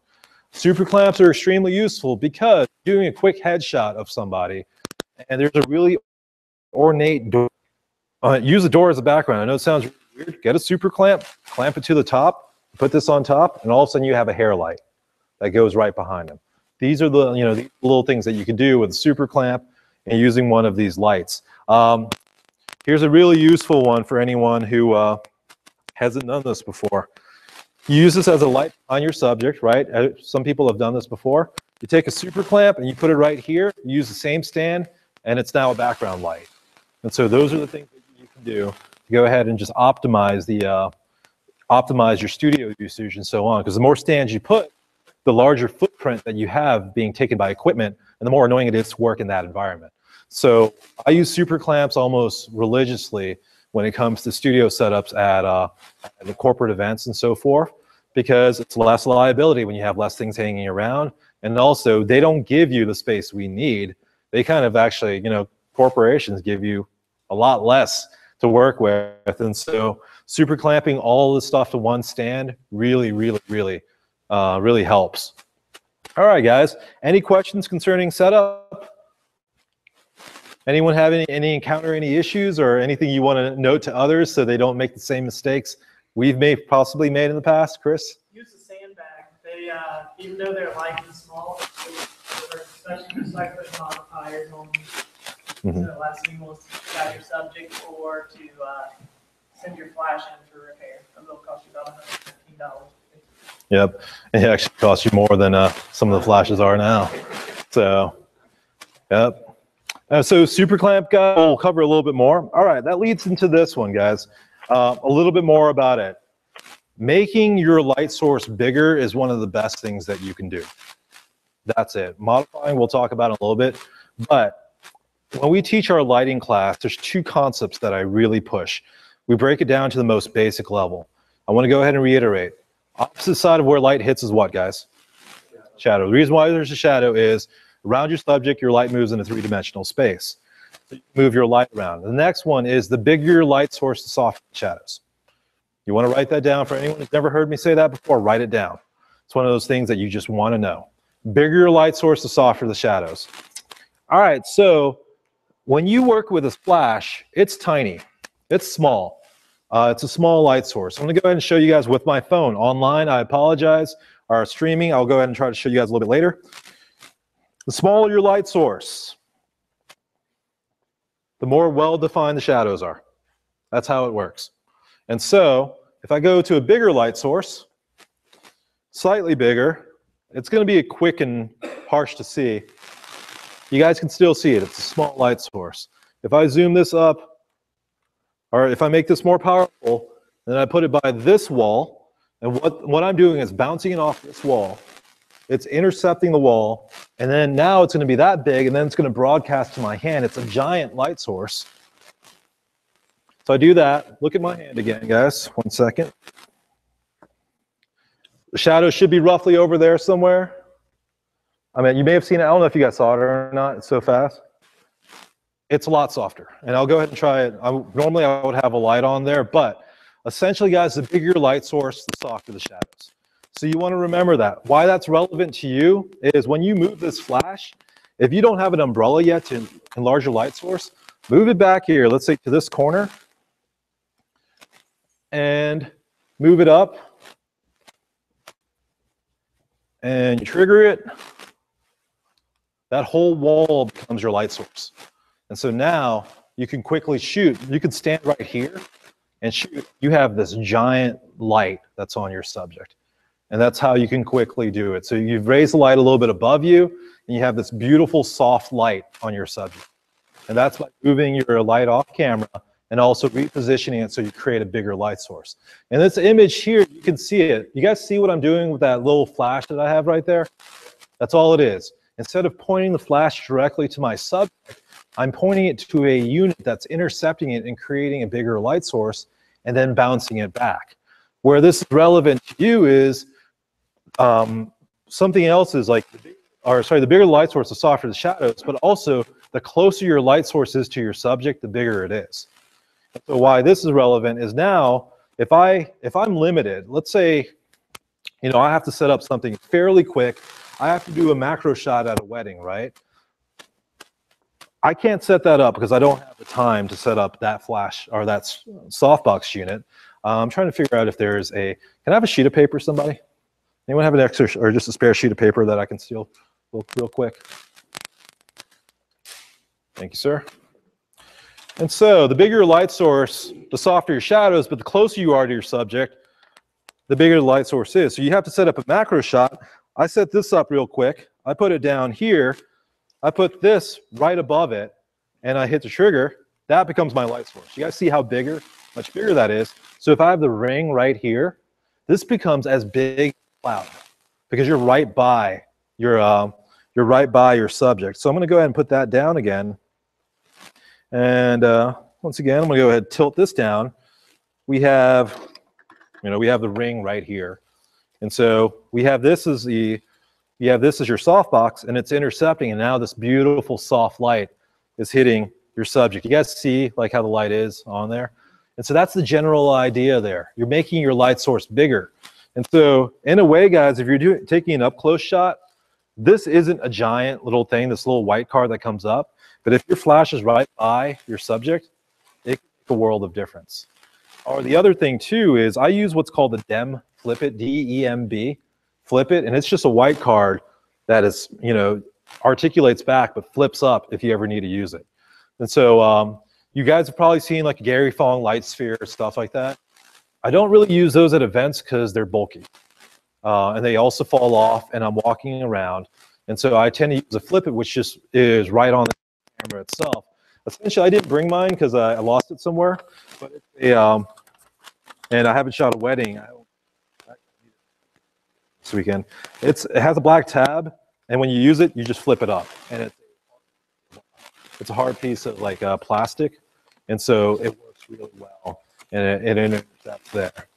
All right, guys. Any questions on making your light source bigger? This is one of those things that you really, really, really want to do. Um, for anyone who, uh, light,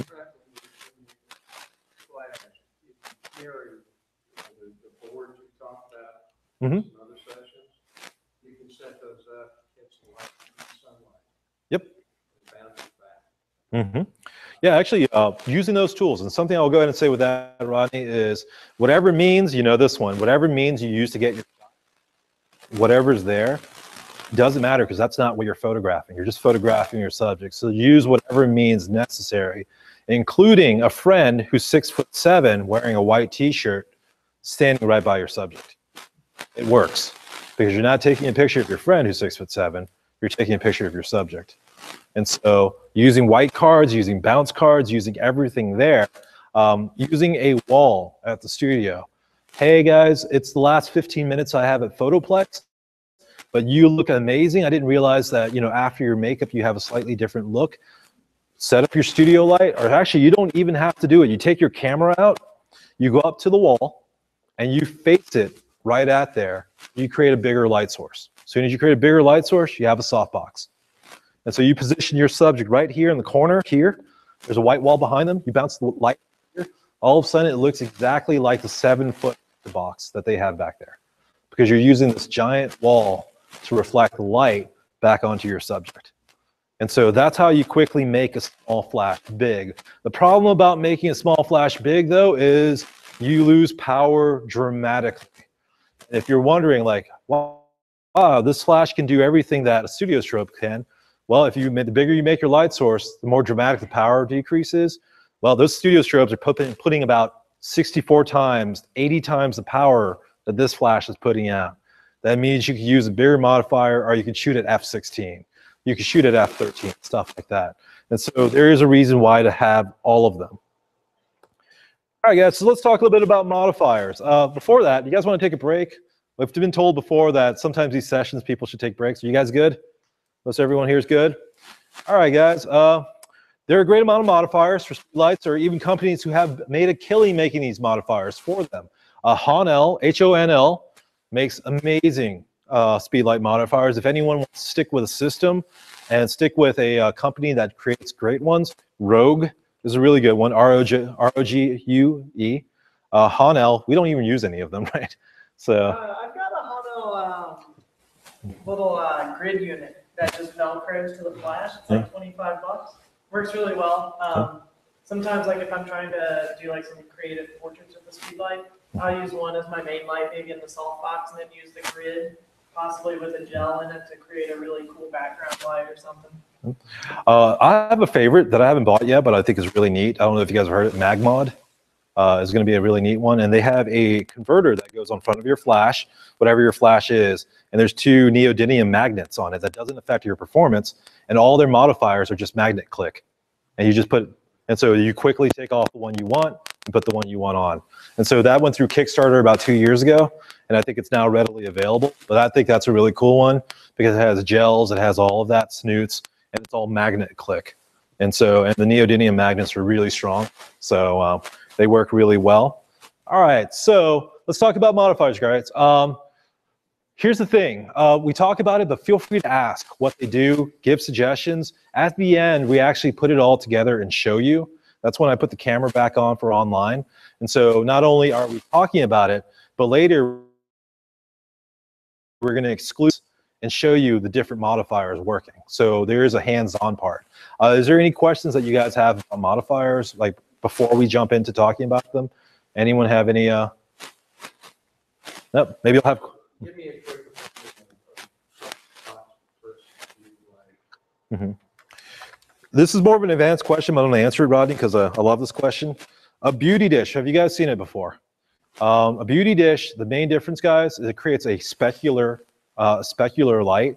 So if your subject has horrible skin like me, it makes it look worse because it's going to create a harsher contrast and also more uh, more highlights. Where softbox has a finer, uh, or sorry, has a more softer gradient when it comes to it. Uh, so if you're shoo- shooting a subject and she wants to look beautiful and she's 55 and she hasn't done her like skin treatments and she wants, you know, she's hiring you, put a softbox on her. You know, if you're shooting a 17 year old girl who wants to be, you know, her has great skin and she wants to emulate a, um, you know, a shoot, a fashion shoot that she's seen in a magazine and she has porcelain. the contrast coming off a beauty dish is perfect for her.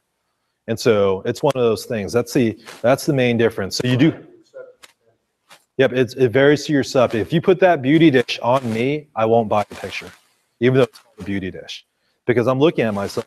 Why did you make me look worse than I know I look, even though I look exactly like that? You know, because which leads to something. I tell this to a couple of my students and so on. It seems silly saying this. This is kind of me ranting. We're in a vain industry, guys. I never forget that. Our job is to make people look good, and so those things. Knowing the difference between what a beauty dish and a softbox will do is critical to our success you know um, and so it's one of those things where where someone may stand out over another person is they know okay i'm opening pandora's box if i use this. If i use a smaller light source on this subject that has more skin i'm going to show every detail and every crevasse on the face. Comparatively if i use this large softbox over here which just smooths everything out that right there could be instant photoshop for you guys using a bigger light source so. If you didn't, if you didn't have soft box, Mhm. you, you could take a, a couple of, uh, sheets or whatever. and put it over, but you're losing a lot of ground. You lose a lot of power and stuff like that. There's a, for anyone who's interested and who wants to work with it, making your light source bigger is really the thing that creates softer shadows. And so if you have like a, if you have a little light, like let's say this paper right here, if you have a flashlight and you put this piece of paper in front of it, this becomes the size of your light source. It's really useful. So one of the easiest things to do if you want to build your own stuff or so on is buy ripstop nylon from Joann's, so on. $2.99 for a square yard. or not even a square yard. I think it's six by three or something like that. And it's the same material that goes to the softbox. And so if anyone ever messes or accidentally rips up your uh, softbox and rips up the front, just go buy ripstop nylon. It's the same exact material, and you just rebuild it. Or if anyone wants to save money and it's a sunny day and it's really sunny and it's going to be sunny, you live in Arizona and it's just pure sunlight for the next five days, buy a PVC frame build. Uh, go ahead and buy some ripstop nylon and intercept that sun and make it a bigger light source. Because the sun is a small light source when it comes and hits your subject. It's well defined. You get harsh shadows. You hold that ripstop nylon and you hold that uh, that right there. You get this beautiful shadow on your subject. Same thing with this. If you build one of those, anyone who's kind of a MacGyverish at it, um, you buy one of these lights. You buy a um, you buy a couple PVC pipes. You can build your own softbox and build it to whatever size or whatever shape you want. Because the cool part too is you get a square softbox and you put it on your subject, they have a square reflection. Well, you can make your own fun personal project and build whatever shape you want and make that a softbox. And there's your new portrait. Bunch of headshots with a symbol that that's your copyright. You know, there's an idea right there. I mean, it's a, Too, you want to pick the right modifier for what you're shooting. If you're doing creative portraits, then you might want to emulate what you do in a studio setup, but in a quick, easy, cheap portable. So if I normally use a softbox here, I might choose to have a little 16 by 16 like this as my main light. I might want a snoot for a hair light and then maybe the grid as my background light. That way I can create the same sort of fills and everything. My favorite speed light modifier is my little like eight dollar Sto-Fen cap that goes over it. Yep. And all it does is it softens it, kind of like what a Fong would do, but smaller, lighter, and a lot cheaper. I aim it straight up, bounce off of white and ceilings, ninety-nine percent of the time. That's my go-to speed light light. But if I want to get creative and go do some fun portraits or something, you can't beat a beat a little softbox, or you can't beat having the ability to create a something. So it's really about what kind of flexibility do you need. Are you trying to do really cool creative lighting? Are you trying to do functional lighting? Something that's fast and lightweight, or your taste. With the stuff, and you can always, after the process, you can choose to- Oh, absolutely. I mean, with, with the little stuff box, I mean, all it is is a little, it's, if you haven't seen it, it just slides over the front of your flash. It's just a slightly tiny little soft plastic little dome that goes over it. And all it does is it softens it when it comes out. Um, it's unlike the little flip down, uh, Prism unit, it's not gonna change the, the zoom factor on your flash. All it's gonna do is soften it and help raise it up a little bit. I can walk right up here somebody, pop the flash four feet from them, and I'm not gonna get that real bright ghost. Do you guys know pretty well where you're gonna start? Generally, I mean, cost you dollars. and stuff. Mhm. Yeah, I mean, well, Trent might have a different answer. I think, uh, you know, you could go sit for 14 hours listening to Hobby and McNally talk about all the different ways they light with flash. Uh, it's really just the same as your studio principles, you know, take your main it in, and then light through your different layers. Add your, add your accent light, your kicker, your background light, your hair light, whatever else you need to add to add the dimensions you want. Start simple, get your all black photo, add your main light, add your, your kicker light, add your background, and you're done. So I think It's really keeping it simple. Exactly. I think it's more intimidating to work with these little bitty units. It's like, oh, I can't even see what the output's gonna be. What's it gonna look like? And, and you forget your principles, but your lighting principles don't change, whether it's just the sun hitting a, a cement wall, your little speed light that you're bouncing through a small ball font, or your studio light that you're putting through a, a big octabox. It's it's all the same thing and you're accomplishing the same purpose. with it. Uh, the only thing I'll say when I start with photography is I don't start at my extremes. If I have a 1.4 lens, I don't shoot at 1.4. I start at 2 because then I can always go down to 2.8 or up to 1.4. I give myself that tolerance because if you start at your extremes, you're limiting yourself. And so why I say that is if I'm doing studio shooting or if I'm shooting outside, I'll go ahead and show you guys a picture. Uh, we're on slide 26. We shot with Aaron today at the lake. And uh, these are quick shots. This is my setup shot, my first shot with her. And I'm at f8, you know, f8 ISO 50. So I start, oh, sorry. Oh, one second. Right there. I apologize. So, Email all complaints to Trent. no, this is a, yeah, it's the body art ball though. And so, so these are ISO 50. Yes, I limited it to ISO 50 because I was trying to get the, uh, the sun there, but it's at f8. So if I wanted to adjust a little bit, I could go to 5.6. I could go to f11, which I believe I did later. Let me go ahead and make sure here. So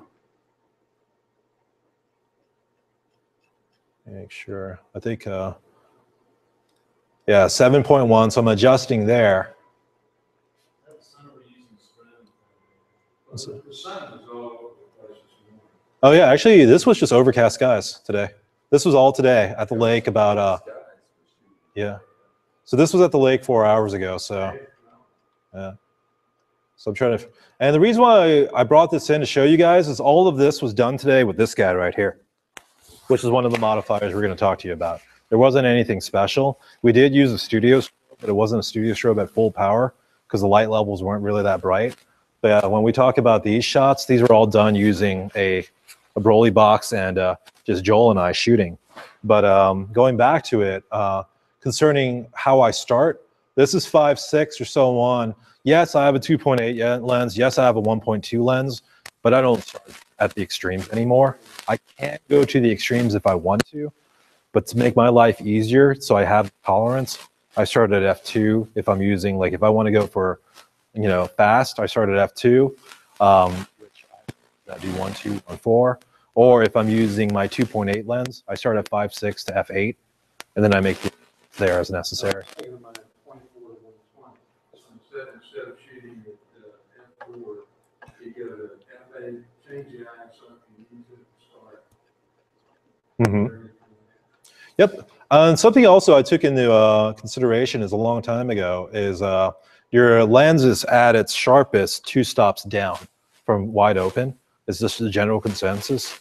And so at um, like my 50, I have a 51.2. If I go to 2.5, that's where it's sharpest. Technically, where it starts getting sharper. So, the stuff like that is what I uh, what I try to do. Sure. Both really. Um, Ask them. Last, last night in the storm, I left my deck and I got tore all to pieces. So now I've got a whole bunch of white nylon. Mhm. Um, how do I decide if that's good for softbox? I was thinking it was. Really it's light all through. It's good for, for softbox, but the difference in materials, uh, how much light that it kills. And so the, you might find that the effects of it are good for certain soft, uh, you know, it might not be the best material possible, but it's, the you know, thing you want to do is try. Because there's a company, um, God, I'm trying to remember the name, but um, does anyone remember that modifier that Ann Leibovitz uses? I talk about it all the time. It's a Brolly box. It's, a hundred dollar Brolly boxes when Brolly boxes cost 50 but the main difference is the material is a little bit more space age and so it's thinner so it doesn't kill your light as much while doing the same results yeah so if it's really thin uh, it's one of those things just try it out and um, just if you're building your own softbox just be aware as as you go to a certain size you need another baffle within your softbox if anyone ever opens the softbox and you see that you have your front portion and then all of a sudden you have your inner portion that has a lining on it what happens is that inner portion absorb or intercepts it, and then it allows the light to go on the outside because it's weaker. That actually makes the light more uniform. So if you take out that uh, inner baffle, it gets really bright in center. And so if you're building a big softbox, try to try to go ahead and make sure you, you you're aware of to compensate for that. But Just came up. Um, now, when you're changing the uh, aperture, you're aperture, is that just from, I mean, you said, uh, now Nope. that's new, I didn't know that about two stops up from your minimum. Mhm. But are you just changing it just for what you want to in for your depth of field? or- aperture, um, I'll go off on a tangent with this one. Uh, problem with online is aperture. They tell you to change your depth of field. It's aperture. There's four factors, and so aperture is one of them. I choose aperture for exposure, but as soon as you move closer your shallow, your depth of field gets shallower, so it blurs out faster. And if you move back, you actually get more depth of field. So if I go to 5.1 from let's say f8 and I go to 5.1, but I want more depth of field, but I want to change my exposure real quick, I'll step back. And it's one of the, it's just ingrained in my head. For anyone wondering, the other two factors is, is the more you zoom in, the shallower your depth of field. If you shoot at 85, the depth of field behind your subject is going to be shallower than if you're shooting at 35. Your composition looks different. But if you take a picture at 35 millimeters, guys, and 85, and you look at the picture, the background's blurrier on the 85 one. And so that's the other thing. Uh, The other one is really stupid. If you want your background to appear blurrier, move the background further away. The closer your subject is to the background, the sharper it is. The reason why that's relevant, and I teach this in uh, I teach this in one of my classes, is really important. Your camera can only focus on one thing. You have John here, you have Sarah here, you have Michael here. John's back here, Sarah's here. Guess what? You focus on Michael, these are objects. These are not people. And so if you want them in focus, you move John up, you move Sarah back. That's, that's what you want to do. So at a wedding, that's what I do. Hey guys, get in line, get in close. There you go. There's your line. Adjust to whatever. Uh, why that's relevant is now let's say you have one subject. You have John, and you're taking a picture of his hands. Well, if its hands are further away, you have to move them in closer. So number four is how close your background elements and your foreground elements are to your subject. So to answer that, when I change aperture, sometimes it's not for depth of field, it's just to get my exposure correct. Uh, mostly if I'm hitting the, like once again, I try not to hit limitations or try not to hit extremes. I was shooting with a, um, a studio strobe outside. I cannot go over 160th of a second on my 6D. My 5D Mark III would do 1 250th, but my 6D won't. And so I have to go ahead and sort of cap out my shutter speed in certain senses and now either adjust ISO, which I hit an extreme at ISO 50, guys. I couldn't go to, you know, I can't do any of that. And so aperture was what I, the, so the cool thing is it's complicated, but you also have three options that you can change to get the exposure you want. All right, guys, let's go to the next slide here. So one question. Yeah. If you like move all the things here that you want to move it point of view, but if you're taking a macro, Mhm. do you want to use the blue light? Mhm. You're very close to the subject. Mhm. And the shadow, so that like it's shading farther. That's why you want off, off camera. Yeah, off camera. And so What, what do you suggest, what kind of, like there are different options? there's different options. There's actually macro. Uh, what's really neat is your your camera ends up looking like NCIS or a, like this little bug. Uh, there's a device. Uh, Manfrotto has one where you connect it to the bottom of your camera, and it's two articulating arms that hold your flash for you. And so what's really neat about that is uh, you guys could build your own. You can have one where if you're taking a headshot of somebody, there's always a flash here and there's a flash that goes around them. You know, you can articulate the arms as you want there. Uh, but for the macro one, that's where you would like ideally, um, if you uh, if you can, you would have an arm that holds a flash. So for anyone who has a tripod, yeah, a ring light's good, but it, it's a flash that's right there, and you might not like the look at look of it. So it really depends on what shadow quality and light quality you want. A ring light gives you great subject clarity, but it's a light that's directly that one, you know, coming as a ring light direction. Uh, do you shoot your macros on a tripod? All right, so you have your tripod. There's something that we're going to cover on the next slide called the magic arm, where you super clamp it to your tripod, and it's an arm that articulates, and you can put your flash anywhere. And so that's the way you would do it with whatever softbox you want. The thing is, don't overdo it. You don't need a softbox that size over there, because the closer you are to your subject with your light, the bigger the light source is. And so all you need to buy is one of those cheapo $8 soft boxes that fit on your flash, and it's more than what you need. And so, and that on a magic arm will position to wherever you want it to go. So, all right, so let's talk a little bit about uh, modifiers here, guys. We have your nice, simple unit in the umbrella. An umbrella makes your light source bigger. What does making your light source bigger do? Soften shadows. And so, here's a little Smith-Victor 32 inch.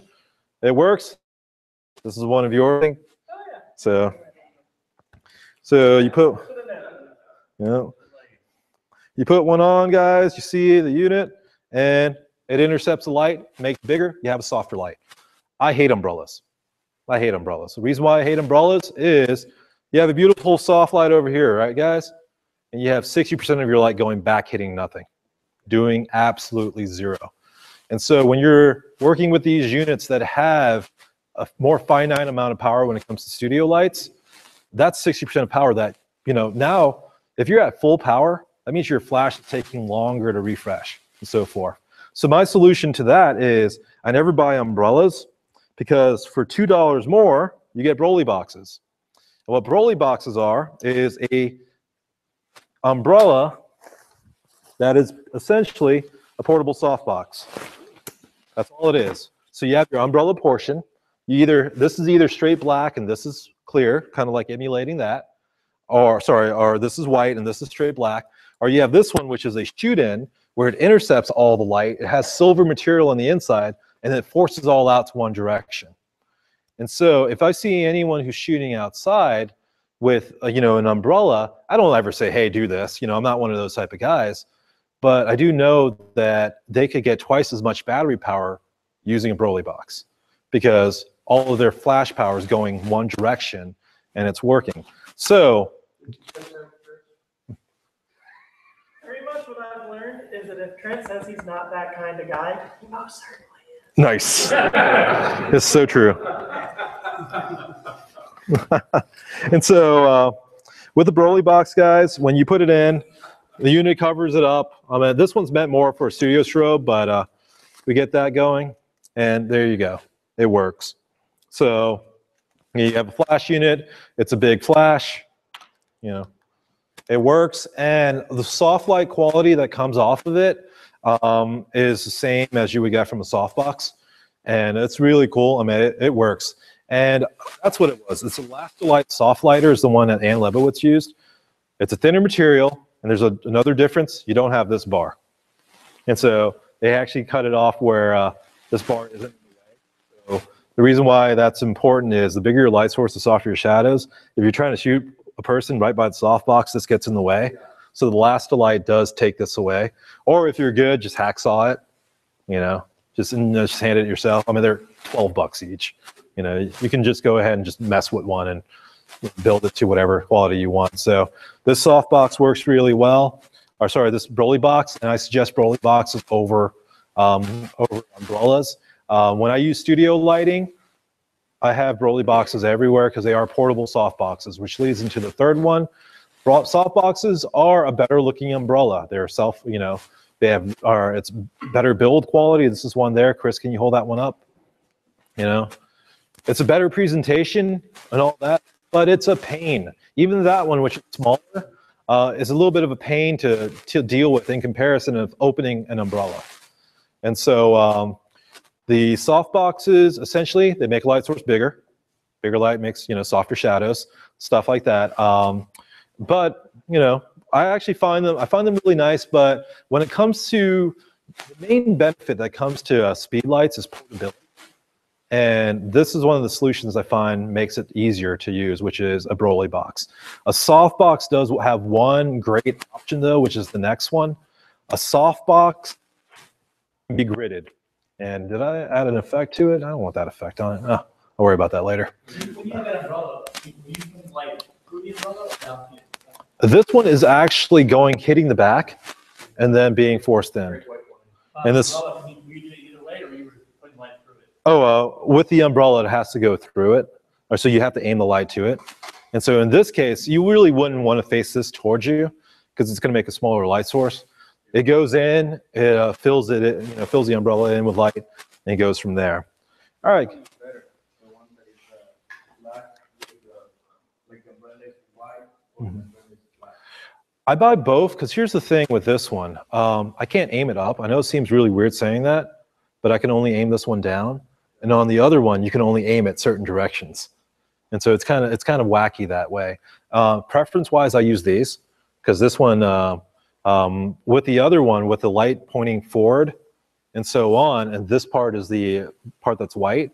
It's hard for me to get it consistently lit compared to the of this one where you can just aim it anywhere, and more than likely you're gonna gonna fill in as much as you need. Um, ease wise, here's a here's a slightly different one too. Uh, this is neat. It's Has anyone ever seen or seen that new thing from 3M, the water resistant stuff? You can buy this for 12 bucks and completely covered it with that, and it's actually encapsulating the unit, and you're waterproof for a little bit. And so you can use a flash outside. You didn't hear me say that because if your flash gets screwed up, it's not my fault, guys. You know, take your take the precautions that you need, but you got you get one of those and you go and cover it with the uh, the 3M thing, and it's a real life umbrella that is actually an umbrella for photography, and so it's useful. Uh, but yeah, the, this guy, this one right here works really well, and you guys saw how fast, easy the setup was. I'm ready to shoot, just like that. But a soft box, going to the first option, has a cool option, and that is you can grid it. Uh, you can also just flash itself. Uh, this is a great thing because what happens is when you use a general modifier, it puts out light roughly at 180 degrees, 160 degrees. You don't want light everywhere all the time, possibly. And so when you buy a grid, it actually constrains the beam. So we'll go ahead and show you guys that. Oh my God, did I take it out? I think I did. Uh, left or right? Right here. This right here, guys, is a grid for speed light. Relatively quick and simple. I go ahead and put this guy on. And right now, if you look, you know, it's a big beam. And then if I put the grid on,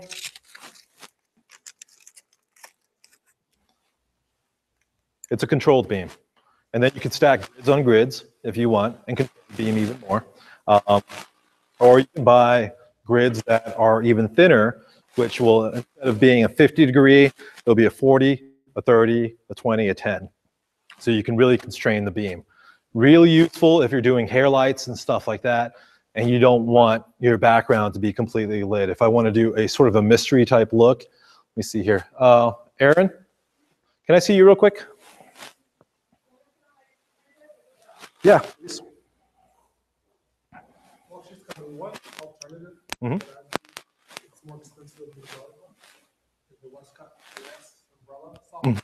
You can grade that.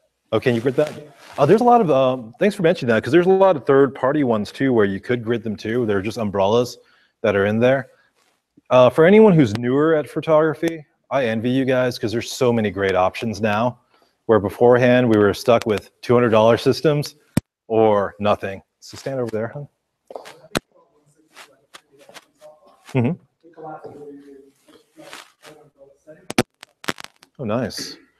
Probably, I think, uh, Patrick, you have some like that, right?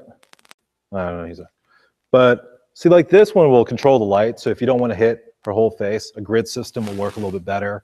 A snoot system does the same thing, um, and so forth. So, and then we're gonna get you set up in just a little bit to start shooting. All right, guys, light spheres, bounce cards. Um, create a larger light source, but at, locally at your uh, flash. If you are using a, uh, you're using your flash a lot for events, bounce cards, light spheres, because that's going to allow you the portability or it will soften your light for you, but it's meant more for cameras or for flashes that are on your camera. That's the main difference, guys. If you're using a softbox, or if you're using your flash off camera, get a softbox. Don't get, don't try using a light sphere. Don't try using a bounce card. It's not as effective. But if you're on the go and you're moving around and that flash is on your camera, then those units are going to create a bigger light source for you you know, in that way.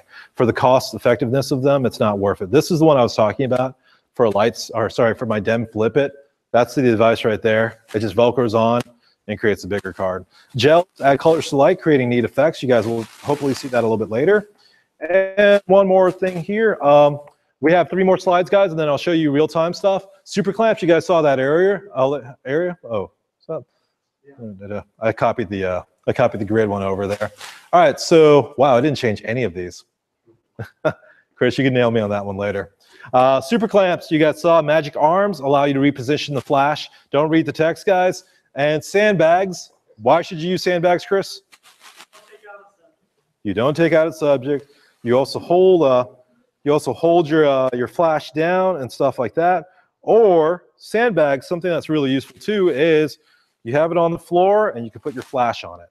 Uh, it's this little surface that you can it's malleable that you can move to whatever shape is needed to position your flash to whatever it needs to be.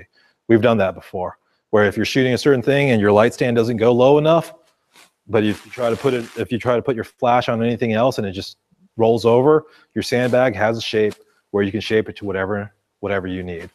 All right, guys. So speed lights, benefits and warnings, and this is last. Uh, there's only two slides left. Uh, there are more benefits of flashes than there are negatives. Here's some of the things to be aware of. This is a critical one. This is why some people actually, or some people don't realize, flash freezes subjects in place, um, and in many ways create a sharper image. If you open, or if you, if I take a picture of you, guys, one of you guys are just, you know, you're just sitting there, and I take 1 60th of a second. If I use a flash, within that 1 60th of a second window, a flash will fire for 1 ten thousandths or 1 thousandth of a second and permanently lock your subject in place. If you're ever wondering why a flash image looks clearer than an available light image, it's exactly that. Because within that time frame that you're opening your shutter, your flash is instantly going off and freezing your subject in place. When you shoot a subject, not only are you capturing their movement, you're capturing your movement. So some of the things that people don't consider. And so the longer your shutter speed, the more movement you pick up on their end and the more of your movement that you pick up. And so a flash will quickly just lock it in place. And so will you see a difference with a more expensive flash? You actually will. If Profoto says that their flash goes off at full power at one ten thousandths of a second, it does. You will capture your subject in one ten thousandths of a second. And where is that relevant? Has anyone ever seen a picture of a frozen bullet? Like a bullet in midair? It takes a lot of flash power. You actually have to, if you uh, if you want to, you have to build a flash that can kill you to get to 140 thousandths of a second. You can build it with stuff from Radio Shack, but it's kind of scary. Uh, but that's the idea here because it's a difference of one- 10 thousandths of a second, but you can see a blurry bullet and you can see a sharp bullet. That is actually kind of how it works with us. If your subject is moving around, any anyone here available light shooters, there's nothing wrong with that. But if you ever use a flash in the same situation, I can almost guarantee you, if you do it right and you use the flash to supplement the light, not replace it, your photos with the flash will look better than the photos with the available light. Your? Yeah, your sync speed's low enough. But let's say you did a one second exposure and you use a flash. Within that one second window, your flash will expose and lock your subject in place. And so it's it's actually kind of different uh, different that way because if your subject is not as well lit as the background and your flash goes off within that window, your subject's going to appear really clear, and you're going to still pick up the ambient light in the background. That's what people shooting sports. Mhm. Like this with a flash. Mhm. They must be using ambient light as well. Yeah, but they are also using flash to lock them in place and also illuminate them. They're shooting a basketball game, are they shooting it at one sixty of a, I mean, one sixty of a second? Uh, they vary. It depends. Like, um, you actually also get experience as you do sports because uh, if you ever, I mean, if you see someone doing a jumper, you don't get them when they're here or halfway in the air. You get them when they're in peak motion and they actually move slower. And so sports shooters know that. But with the flash too, it locks them in place. Uh, because if that's the only light that's pumping in, the background ambience being picked up, but that flash locks them in place and actually delivers exactly what we're talking about a sharper, clearer image. But if their exposure is too long, you will see the ghost of the subject moving. But if it's short, it's almost like an insurance policy. That flash is that extra icing on the cake that locks your subject in place. So, mm-hmm. I was trying to, uh, get some, uh, slow shutter speed on some water movement. I had to mob the people who were getting photographed with, uh, the data close. They were sitting in the creek with the water going around, and I kept trying to figure, I kept trying to get them to be still and everything. Uh, with a slow shutter speed, how did you, do? couldn't you use a flash to help that? Yeah. Yeah. You have to focus it on the subject? You focus it on subject, but also what you do, here's something that's important is uh, we didn't mention it up here, but we should mention it. There's something called second curtain sync and first curtain. When you open a flash for, or when you open your camera for one second, if you have it on first curtain sync, the flash goes off instantly. And then for one second it opens, and then it's done. On second curtain sync, your camera says, okay, instead of flashing in the beginning, right before I close my shutter, I'm gonna flash. And why that's relevant is um, if your subject are just moving a little bit and you flash them in the beginning, then everything they do afterwards is going to go ahead and be a top layer on top of what you just caught. But if you wait till the end, you have you're picking them up slightly, and at the very end it flashes. That's your sharp image. And so, does that make sense to everyone? So that's second curtain sync and first curtain sync right there, and why you would choose that. And so, your case there, though, you're dealing with you're dealing with options that are really difficult. It's a trying thing. You want to make your subject comfortable too, and also do poses that promote it. And so, a lot of things that we do with longer exposure is subjects laying down, subjects asleep, subject is with their eyes closed. You you can still do the same lovey-dovey pose, but don't open eyes because if one person blinks, you know and so just go ahead and say close your eyes. So those are the things that we can control. On another aspect like that if you ever do newborn photos plan it within the first 10 days because that's when they're always asleep. Chris i think you do that so like if you go if you go past 10 days baby's awake all the time and baby's rowdy. First 10 days angel won't do anything. Get your shots done there talk to the mom and say you got to get it done now otherwise you're not going to be happy with your photos uh, you just kind of you kind of push it because that's how you control it as a photographer that, does that make sense though about the, uh, the thing freezing in place? That's one of the benefits, uh, one of the things that make your photos look different than people who say, I like using available light. Well, guess what? You can do available light supplemented by a flash, and that flash is making your images look better than the subject who's just using available light itself. All right. So flashes do create heat. Use higher ISO and a lower pow- power, and you can shoot more. The SB900, an amazing flash. I think all of us agree with it. Nikon went extremely, extremely annoying on its heat, like a you know heat index turn off. You get like eight full power flashes, and the flash tells you I'm not working anymore for 10 minutes. The SB910 addressed it. I believe the SB710 addressed that. Um, it sucks. And so something that to not forget, guys, is you if you are shooting either ISO 200 or 400, go to 800. You know, you won't notice the difference aesthetically more likely if you get the exposure nailed down. But if you go to 800, instead of being full power on the flash, you're at half power. So if you're using ISO 100, you can go to ISO 800, and all of a sudden your flash is going from half power to one eighth power, and you can shoot that much more. And so, and you are, are the heat's not going to be bad. Um, bullet point number four here, or you know, third on the list, get comfortable with your flash so you can change it without even looking at it. Here's something that's really neat. I'm going to go ahead and uh, kind of sell you guys a little bit more on this one. Uh, this flash that I showed you guys earlier actually has a really neat wireless trigger that you can buy for it for 40 bucks, and you can actually remotely change the power on it, and it actually will tell you what the power is at.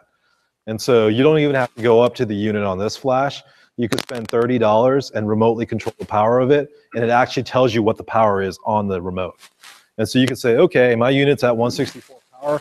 I want it at 1 8, and the unit will show you that. And the cool part about it is, is you don't even have to have it on your camera. You can just have it in your pocket, change the power, and use whatever flash controller that you have. And so, uh, so Patrick has a couple, I have a couple, and that's what I do at a wedding. I'll put it up somewhere, it's 13 feet in the air. I put it on channel A, and I'm like, all right, it's at 1 8 power. I want it down to 132nd. I just do that on the transmitter, hit test, turn it off, and now it's permanently at 132nd until I change it back again. And so, um, and so you get comfortable with your unit. The reason why that sounds weird saying that, but anyways, uh, I'm sorry, guys. well, that that's permanently on the internet. But anyways, uh, here's the here's the thing though. Like um, you're working with your subject, work with your subject. You know, the flash equipment. That's all great for us to talk about. But it gets to a certain point where if you find yourself fiddling too much with your flash and adjusting it, don't forget you're shooting with the subject um, because they're the ones either paying the bills or the ones that you want to keep on shooting that more and so on. So just don't forget about your subject. And the very last one here is speed lights are not as strong compared to studio flashes. It gets to a point where studio flash is a better idea. Couple things, you're drawing power off a studio or you're drawing power off a wall with a studio strobe more than likely. And so it's consistently going to run fast. You're not dealing with batteries. The other option that studio our studio lights have is there's a built-in modeling light. It will actually go ahead and be nice. So the review that I did of the um, the Mago Speedlight, which I really liked, actually has two LEDs up front, which will light up and show you what your light kind of looks like on your flash. That was really cool. I was really, I was really, uh, I really liked that idea on that one, but it still wasn't that strong of a light. Uh, the other thing too is the bigger your light source, the softer the shadows, but the more power it takes. See that big uh, um, unit right here? It's giant, right? That is a 600 watt unit right there, and it barely lets you shoot 5.6 at ISO 400, barely at full power. That modifier is just so huge, it's killing that flash by like 16, 18 stops, running at full power. So this guy right here would not make a dent in that. You put this in there, and you have to shoot ISO 800 at 1.4 to get, you know, to get that effect. And so there's certain points where these aren't as useful, and you can Joe McNally it and put nine speed lights together and kind of jury rig something there, or you can buy one strobe and do the exact same thing and, and be. You don't like the pack, so I, I don't the quantum mm-hmm. benefit because they have one eighty and three sixty watt. Right. Yep. Lights, you know, that's, put a couple of speakers and really get some power. And these guys, I mean, they put out they put out a lot more power than you would expect.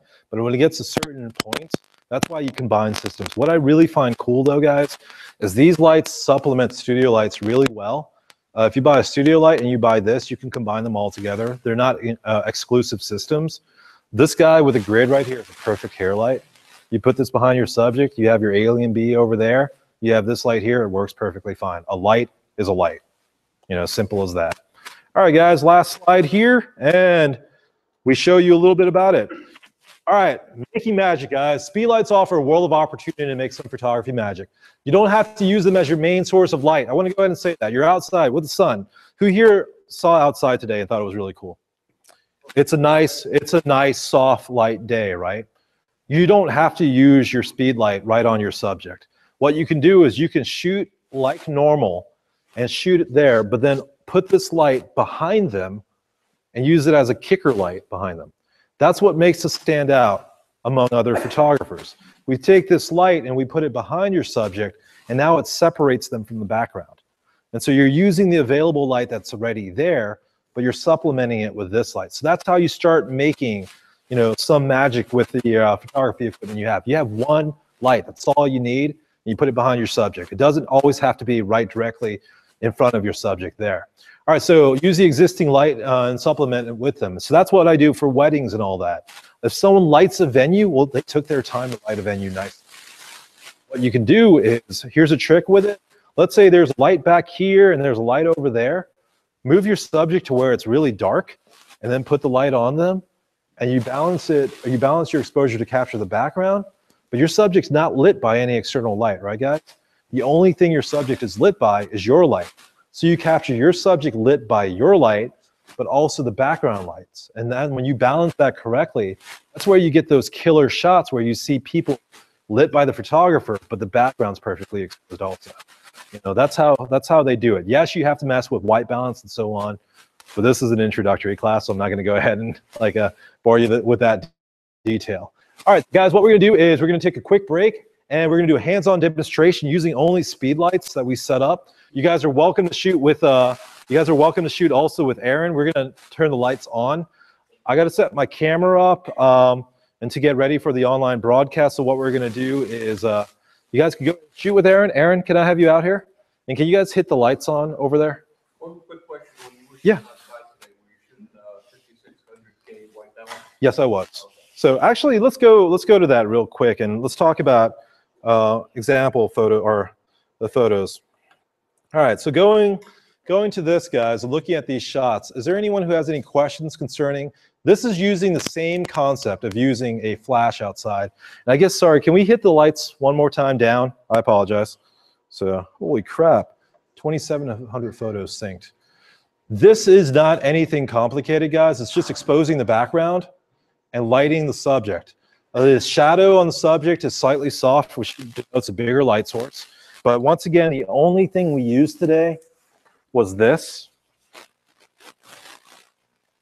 And the flash was pretty strong. It was like at 120 watts. So you would have to have two, uh, two small flashes almost at full power.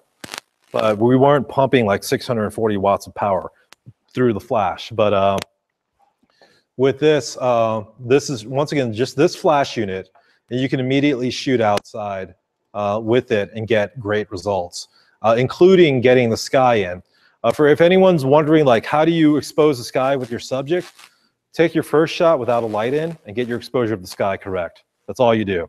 Once that's correct, your subject is probably dark. Uh, your subject's not lit, and then you introduce your light in, and you up your power until your subject's lit well with that. It's really quick and easy. Um, all right, so you guys have any questions concerning any of these photos that you see, or like anything on the lighting side? Uh, Did you use a kicker? Oh, here. Um, a kicker was not used at all because uh, we only it's this is all one light. Once again, one light using a um, uh, using just the umbrella and uh, the subject just in one place. The Uh, the light actually is it varies around. Yeah, this was the, uh, the clouds today. It was pretty cool. It's right off Lake Lanier. So, so the light uh, varies, but it's mostly closer to the camera. This one's slightly on camera right. I believe you guys saw like saw this earlier.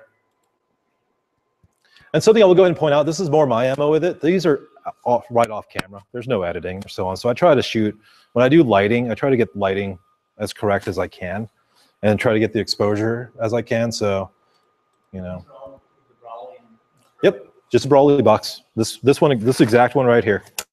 So, oh, oh, in this case, I went more for uh, at 4.5, um, 40 if uh, sorry, 40 millimeters. So, with this one, we did lower the light power of the uh, flash because once again, I am shooting a initial frame and uh, seeing what the exposure is. Uh, let me see if I figure out where the light is. And saying, okay, at uh, at 4.5, I'm not getting as much of the fire as I want. And so I moved it to, uh, actually, it's still 4.5 there, but uh, it's also angle there. And yeah, no, I just make sure the fire looks good on the screen. I mean, really, that's it. And then adjust as needed. Uh, since the flash, the flash isn't affected by my sync speed. If I wanted more of the fire in or less, like let's say if the background was really bright, the fire is probably going to be brighter, right, guys? Because it's a light source with an extra light source, which is the fire. Well, if I lower or if I speed up my shutter speed, the light or the fire is going to be more prominent because the background darkens. What I'll do. So it'll show up. And so that's the mindset I have. So I'll jack it from 1 60th of a second to 1 20th, 1 125th, or 1 100th. So, all right. Is there any other question, guys? I'm gonna share a quick little real life scenario. My wedding was past Saturday. Bride, after comes up, and she's like, we didn't to do a mean, this is long, what you want to do? She wanted to do like the intricate design or twirls or something like sparkler. Well, okay, let's go get your. She one sparkler left. So, there's no time for trial and error. You have to kind of, kind of know, okay, let's, let's see where, where the background is. Let me see from my sparkler top right there. There we go. There it is. Yeah. Once I it on both, let her have the time to do that. I have to figure out enough. Where it's set up.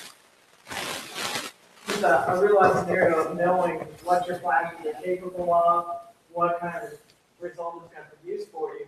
There was no, no time there. I guess myself. I didn't know, okay, I, I want to. Here, and I have to make one quick adjustment.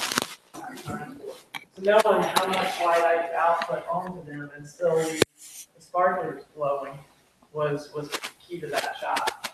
So, This is one of those things you wanna be really comfortable with your setting. What's that? An adrenaline rush. Oh, yeah, yeah. She- She also muttered beside it, I don't get this shot, I might as well just have the whole wedding over. I said, Oh. Years later, we're a little dramatic here. That's how you get the All right, guys. Uh, everyone, just take a quick break. What we're going to go ahead and do is uh, we're going to get, yeah, lights on. We're going to set it up so everyone can take photos uh, and try out the studio lights. Uh, if you have any questions, I'm setting up. Feel free to ask Chris or, or Chris or Patrick. Okay. I mean, I'll use these back in. Sure. Perfect. I don't think I brought my um, Did I not bring my, uh, shit, my webcam? I don't believe I brought it. So, uh, go back, it's the online people. Hey, buddy. Yeah, watch that bag. There's a snake in it. Hmm? You can use yours. Yeah, you. can- Yeah. Yeah. Um, no, it works. Yeah, but uh, yep. So That's all there is to it. You should, yeah, you should now be able to take a shot. and- sorry. What, sorry. What was the question? Oh. Oh, unfortunately, no. But uh, what we'll do is uh, You can. actually uh, so. Hey guys, online. I don't know if anyone's viewing. What we're gonna do is see how this looks. Total guesswork. And it's not gonna be Hey, to- how's it going? So, uh, for anyone who's online, uh, I know the quality is terrible. I apologize. I didn't bring my webcam, and I am really sorry about that, guys. What we're going to try to show is at least the setup, the setup real quick on my um, my uh, webcam here. Wow, I look absolutely terrible in this thing. But anyways, uh, in the back here is the Brolly box that we talked about before. Essentially, uh, it's set up. We're going to put Aaron in front of it, right by the wall. Uh, really basic. I'm going to show them a headshot with the uh, with the Brolly box. You see me uh, flashing it there. Uh, feel free to stay with us. Uh, it's pretty boring from here on, but I'm going to keep this streaming, and you guys will hear me answer any questions that anyone may have. And then we're going to complicate it a little bit more as it goes on. But first of all, we're going to go ahead and start shooting here. Let me clear some stuff up. Hey Joel, if I can, if you can grab these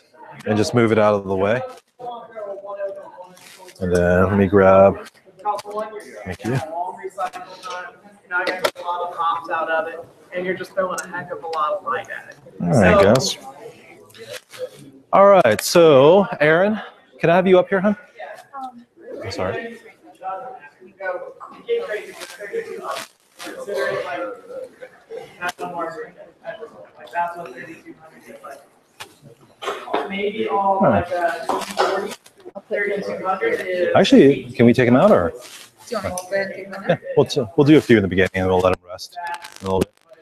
All right, guys. Um, actually, we'll start this way so they can see it.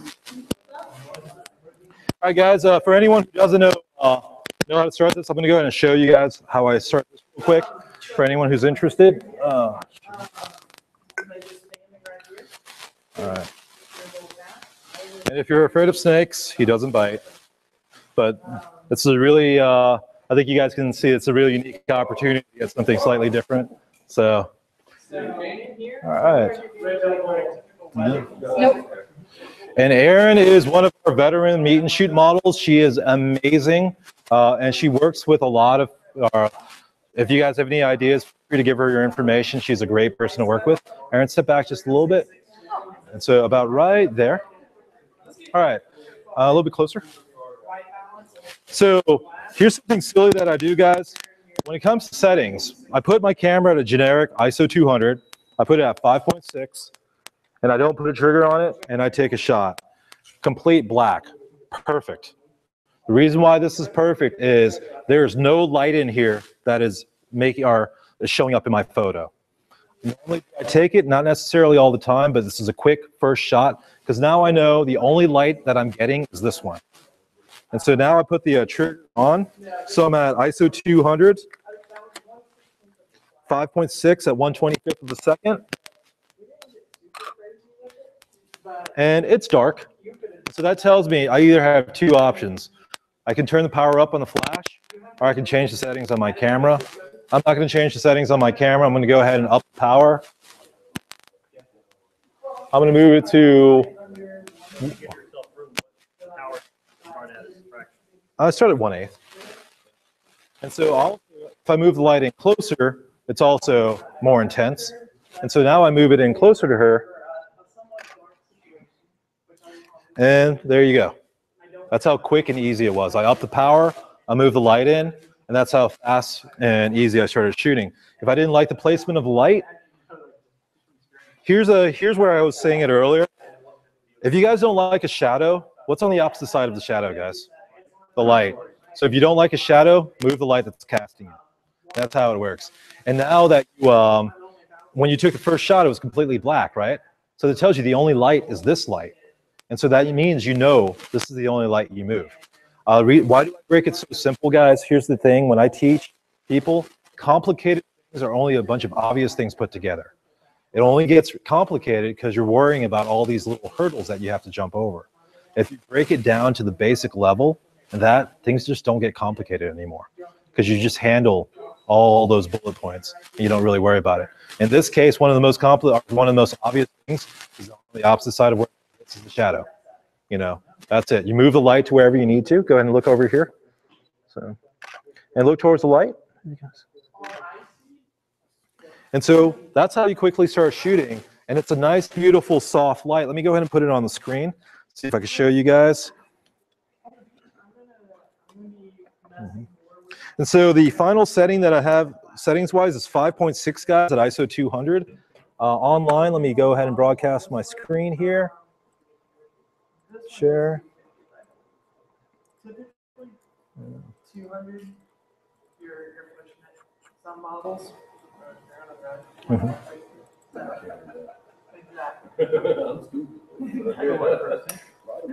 So, and that looks, would you guys be able to tell if that was a Profoto light or a $60 softbox? Or sorry, a $60 light? Not really. I mean, this is a speed light. You paid 100 bucks for, and you're getting it in a nice softbox. So let me go ahead and rotate that. And uh, for anyone wondering who why I'm shooting in black and white, I shoot RAW plus JPEG. When you shoot in black and white, color is one of the things that we look at that you can easily fix, but lighting you can't fix in post processing as well. Black and white shows you truly how your light falls. And so I shoot in black and white camera because the most important thing to me is light. Color I can fix. I don't want to tell a subject I can fix the color. You know, it's not about that. But think of all the, the little steps that you have to use to fix your photos. Lighting is one on Photoshop that takes at least 30 minutes to fix. Color takes sub five minutes. So I don't worry about color as much as I worry about hitting the subject. And in this case, in the black and white, what can you guys tell with where the light's positioned? Camera left. Shadows are on the, the shadows are on her, are our right side, her left. And so my black and white shot immediately tells tells that, you know, in light position wise. All right, so going back to, you know, so that's the first one. Is that a usable shot, guys? How fast did it take us to get there? Fairly quick. So when you do your first shot and it's completely black, you know that's the only light there. You make it less complicated. You know these other lights don't matter. They do absolutely nothing. None of these lights here will ever affect your final exposure. The only light that matters is this one right here. And so that's how you quickly shoot with the, these lights anywhere you're at. All right, guys. So uh, you don't have to use the, uh, the light here, but we only have one one flash. So feel free to move around. But whoever has this uh, has possession of Aaron to pose for. Try snapping about two or three shots and then pass it on. Feel free to take as many pictures of you want as Aaron, but be nice. And if you guys can leave a tip, if possible, uh, it's gas money for her to go home. What's really cool though is this is really neat. If you get a shot that you really want because you've never had a person with a snake before and you want it for your portfolio, I'm not pushing releases, but a release is 10 bucks on any any night like this. And you guys, commercial release. So anyone want to shoot first, guys? Any volunteers? Yep. ISO 200, 5.6 at 1 125th of a second. What you can do is feel free to move the light around and uh, so forth. Do high speed sync. The Phottix kind of does, but it, it doesn't do it as well as the other ones. Uh, online, I'm going to go ahead and guys, I'm going to put you back on uh, the screen here. Uh, you'll see people working with Aaron. Let me see here. Sorry about that's there any new, completely new members that made it here? I'm Trent. Oh, Trent. Go on. Thank you for making it out. So hope you guys got something out of it. Hey, John. Did you guys get anything? Hi. Hey, Patty. So, oh, no problem. Uh, make sure to talk to Chris also. He's uh, he's my business partner. What was that? Do I remember you? Oh, I do, but I don't. That- That's right. Oh, Charles, you've lost so much weight. I guess that was right when I quit eating meat. That's Yeah, it's crazy, Charles. Oh my God. meat while I was How are, how are the pit bulls or how are the how are their dogs?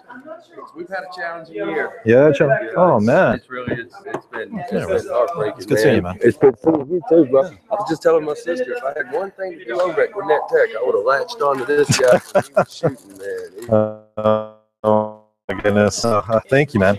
Yeah, some great questions today. Hey, Sean. How's it going? Say hi, I'm heading out. I'm Oh, Pete, man. so- I need to give you that. I need to get you that battery and that charger for the 20D. That's why I So- completely forgot about that. Yeah, I'll, I'll come by your, your place sometime, or I'll try to remember. I've completely forgotten about it until you just mentioned it. Oh man, Good to see you. I'm it's good to see you again, buddy.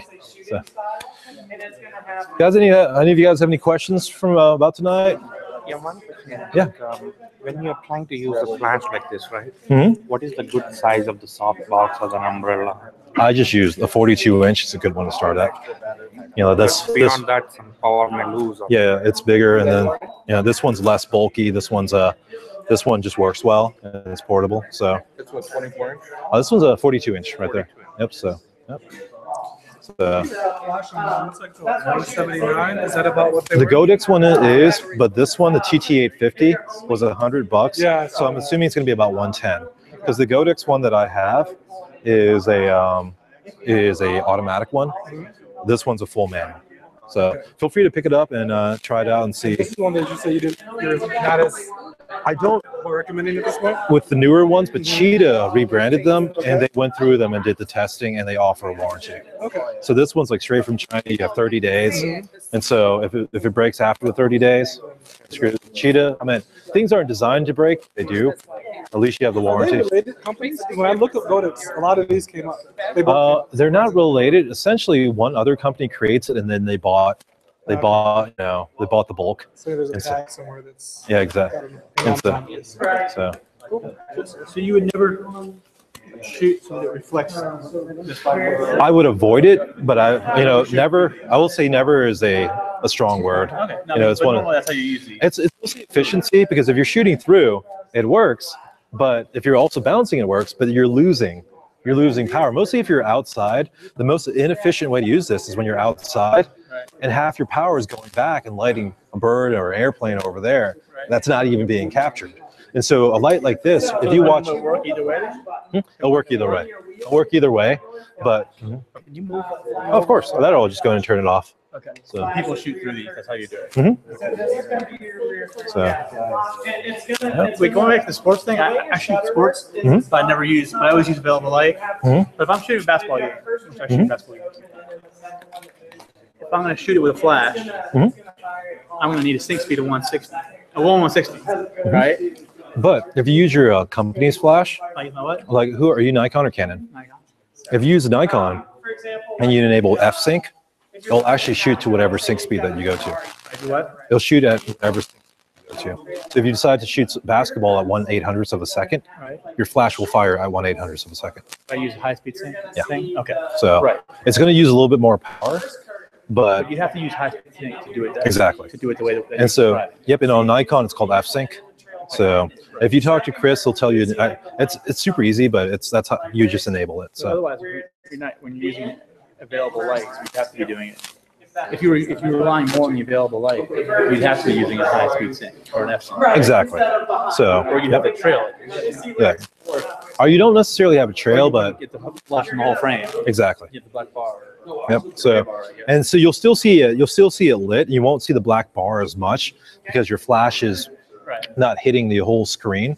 Because uh, when you're in a studio, you really see the black bar because your lights illuminating. Like in this situation, yeah, and because this is all your lighting bar. But if you use, uh, if you're out there, you know, available light, what you'll see is it's lit here, but then all of a sudden it gets a lot dramatically darker there. It's still you still see the band though. It'd be like a band. it wouldn't be a it would be a distinct band like it's obvious like mostly if you're shooting at an angle you'll see like a band on their face but it's more of a slight gradient where it's not dramatically black and then it's going to be just darker on the subject here Okay. and lit there. I mean, I don't have to use flash for sports, but somebody was telling me they were, they wanted me to do it for this one shoot. Mm-hmm. That's so cool. Oh, one second. Oh, one second. was that it That's it, yeah. Um, I mean, this is one example I just want to take. Like, in a situation like this, where you have a lighting here, Mhm. but um, you don't. I mean, when you take this in the Lightroom, okay, you know, it, it drastically reduces the light. Uh, right now, since the lighting is mostly hitting her up there, you can see with that. If you position the light further back, your intensity goes down, but your coverage increases. And so if you're able to move the light back, you'll get more increase in coverage. Yeah, but uh, In Lightroom, how do you fix it? Or no, no, no.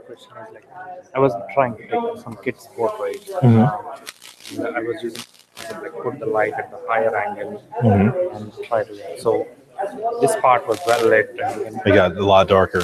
lot So what you want to do is move the light back.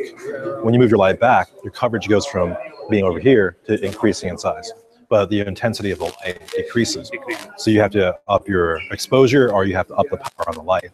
Instead of being, let's say, half power over here, it's going to be, you know, full power or even more. Or yeah, like whatever you can do. So that's where studio light works because you also can do add a lot more power in. So it is about moving the light back and increasing the size, or you can use a bigger softbox, which creates a bigger light source, stuff like that. So, well, this was your first one. Do you have a Great, man. I got a lot of it. Though. uh, awesome? man. Thanks. Appreciate it. I'll- No I'll problem. Back again. Great. There's a yeah. There's a holiday portrait one coming up, I believe. The Atlanta ones will be easier for me. Yeah, it's a that's the thing. It wasn't that bad. I thought, I thought it was gonna be a nightmare. I mean, I left at like 5:30. I thought it's going to be a nightmare heading. wasn't that bad. What part of Atlanta do you live in, though? Virginia Highlands. Virginia Highlands. The only part that was bad was 285. Was I was stopped, but besides for that, I was 70. I was going 70 miles an hour. Be careful on the way back tonight. Look at your Google map because 400. They've been doing construction on uh, exit five, and then they've been closing two lanes. Yeah. which so uh, you might want to go ahead and um, um, take Jimmy Carter all the way to uh, 85. I mean, it's inconvenient, but I think it's about a 45 minute to an hour. Take Jimmy Carter. Jimmy Carter, or uh, take anything you can to go to 85. Or So not 400 at all. yeah, I think uh, I think 400 is uh, they're still working on it. Actually, I'll ask. Hey guys, does anyone know if uh, is 400 still being worked on tonight at uh, exit five or exit six? Does anyone know? Because it's it's been killing it's been killing traffic. But it wasn't So that bad. No. It was great. awesome, man. Let me. Uh, I'm gonna go ahead and set up another one. I'm actually gonna dip on you here, but you need anything? No, actually, uh, do you want to? Um, I have to do a event tomorrow night at Emory, but I had a shoot booked with uh, Kim for Joel. Do you want to go to the office and shoot with uh, Joel and Kim? Yeah. Yeah, I can do that. All right. Uh, I'm trying to help you out for a bit. I'll give him the keys, but uh, he's gonna. Him and I are shooting. If you're not busy tomorrow, him and I are shooting at the Railway Museum. But then I have an event for Emory. Okay. I'll talk to you. I'll tonight. give you a shout. Yeah, Yeah. I'll talk to you tonight. When are you shooting your second? game? So, Uh, I'm doing the. Uh, So. all right, guys. What I'm gonna do is add an extra light in in the back also. So, Atlanta? Oh, okay. Yeah, I, I needed to. I do and don't.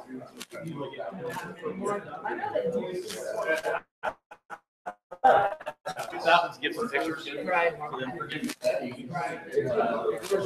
Excuse me. Sorry. And uh, I will be out of this light. Hey, Elizabeth. Elizabeth, come back here. Sorry. I, uh, grabbed the 400 this is. I shot, uh, I shot the, the uh, soundboards last. Did they- And I was like, yeah. I, Did they charge you? What's up? Did they charge you? Yeah. Because I have a forty dollar credit that I don't. I'm never going to use it. Oh yeah. So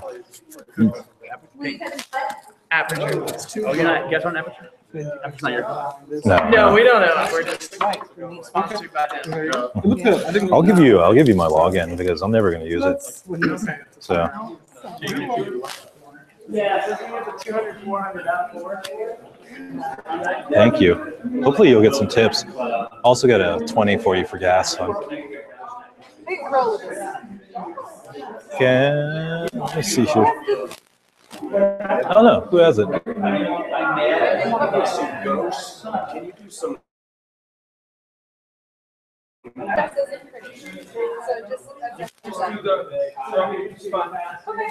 Hey guys, whoever has the uh, trigger is one who has uh, So, oh, actually, this one is not on. Okay, perfect. It's. Yes, it does. So, Only have one So where I you would was pick this from holding down the Cheetah. shutter, or and the- I would think D600. oh, the, the Godox I would get, but the Godox is uh, Godox is going to be a little bit more expensive. Uh, the reason I got the Godox is because it's the automatic version. Uh, the Cheetah ones are all manual. So if you Meaning it supports TTL. it's TTL and so on. And so it was a, uh, it was because I believe in redundancy. I had a 600EX, uh, the Canon, and so I didn't want to buy another 600EX, so I bought that. Okay, that's what I wanted the backup. I only have the 580, but same thing. I want Yep. another 580, but I'm like, I don't really want to spend. Once you go to that, $600. yeah, once you go to that, going back to the five, because that one does, it even does the wireless communication, the uh, infrared-based one that uh, Canon has in the 580. And so it doesn't do the radio, but it does. And so plus it does all the other one. And if you're doing studio stuff, that one too, you can also enable it to uh, sync with uh, remote flash. So Okay, so they both with each other. Yep. Then are you using the TTL through the Godox transmitters? Yep. Oh. Oh yeah. Please. Thank you. Yeah. Perfect. So So those are TTL transmitters. uh, the Phottix is a TTL pass-through. Uh, the version I have is a. Uh, if you look on the very top, sorry, I hit it, but um, yeah, on, on the settings on this one is ISO 200 at 1 125th a second. Uh, yeah, here's the. So here's a transmitter, and the Nikon one will have the uh, respective things, but it will pass through your TTL, but it will manually trigger any flash. So uh, the receivers, even though they have uh, the TTL like transmitter ports, they're just manual. Okay. So- As I mentioned in the description, it says TTL, but it's really just TTL pass-through. It's not like the PocketWizard Mini Exactly. TTLs that. Okay. But then with the satellite ones, I have them at. Am I saying something? Oh, she's a. She actually is a little bit further. So go ahead and move to, or up your ISO to 400. I would up your ISO to 400. There you go. So yeah, that's pretty like. You were saying something about the. Uh, I mentioned the PocketWizard TTL, and it doesn't do that. Yeah, the PocketWizard TTL. The issue there is if you have this unit, or sorry, this unit on top of your camera, and you turn it off, Right. You can't fit, you can't fire your main unit. Right. With the, or sorry, with the uh, with the PocketWizard. With this one, you turn it off, it doesn't affect anything. You just turn off those. So that's And so- benefit of that. Yep. And then the PocketWizard benefit is that it actually is true E-TTL, true TTL. Yep. But there are these there are these units that do TTL. Same brand. Same brand. Uh, Phottix is uh, Odin. The Odin triggers do TTL. Um, and I think the Mitros, but then uh, there's a couple other companies too that do it. And so, like, if you talk to Sheldon, the the ball guy over there, uh, he has the Yongnuo 622s, and they do TTL. So, Because I have the PocketWizard Mini, but again, if you buy additional flashes, Yep. And then for every and then every pocket wizard is like 179. Each of these units is a dumb because those satellite ones, I don't need TTL with them. Right. You know, I just need general usage. So each of these, each receiver is 40 bucks. Okay. You know. That, that makes, that's definitely. And you mentioned a little pocket device you have where you can dial in Yep. and actually adjust the manual So, of each swap. Yep. Uh, on each of these units, there's a radio. Uh, there's a uh, transmitter that you can uh, get with it and a receiver. And the receiver, uh, once you put it in, well, it's a direct communication or bilateral communication. Okay. And it'll tell you your settings, but you can also remotely adjust it. So that's something called flash, not related to this. Uh, yeah, It's actually. it's a it's an it, accessory for the flash itself. accessory for the flash itself. Yeah, if, uh, yeah. Let me see if I can load it up for you. Just to show you uh, on. Uh, hey guys. So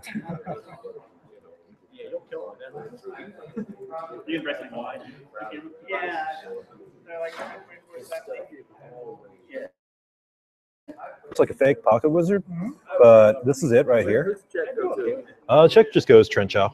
So so look just like a quick yeah, you just put that on the side of the unit, Okay. and if you'll notice, it shows you the settings. Mhm. You go to whatever respective channel that you want, Mhm. and it res- the unit responds back. You hit test, it locks into the unit, and it shows you the exact power it's at. And then how much are those? Those are thirty bucks. It's kind of crazy. It's like So just one of these for each. uh, one of these, but yeah, one of these for each light, and then this one, and that's a master unit that controls all. Yep. So I don't think they sell it yet, but at 30 bucks is kind of you'll have like 16 like whatever five extra of those. But when they sell those separately, it's almost a no-brainer. It's like you have one on each flash, and uh, let me see if I have one. This is Neewer, okay. Yep. So that's this flash, not with the. Yep. Let me see if I have uh let me see if I have that back unit because you'll see like the relative size of it. Yeah, so this is oh, yeah, yeah. Thank you.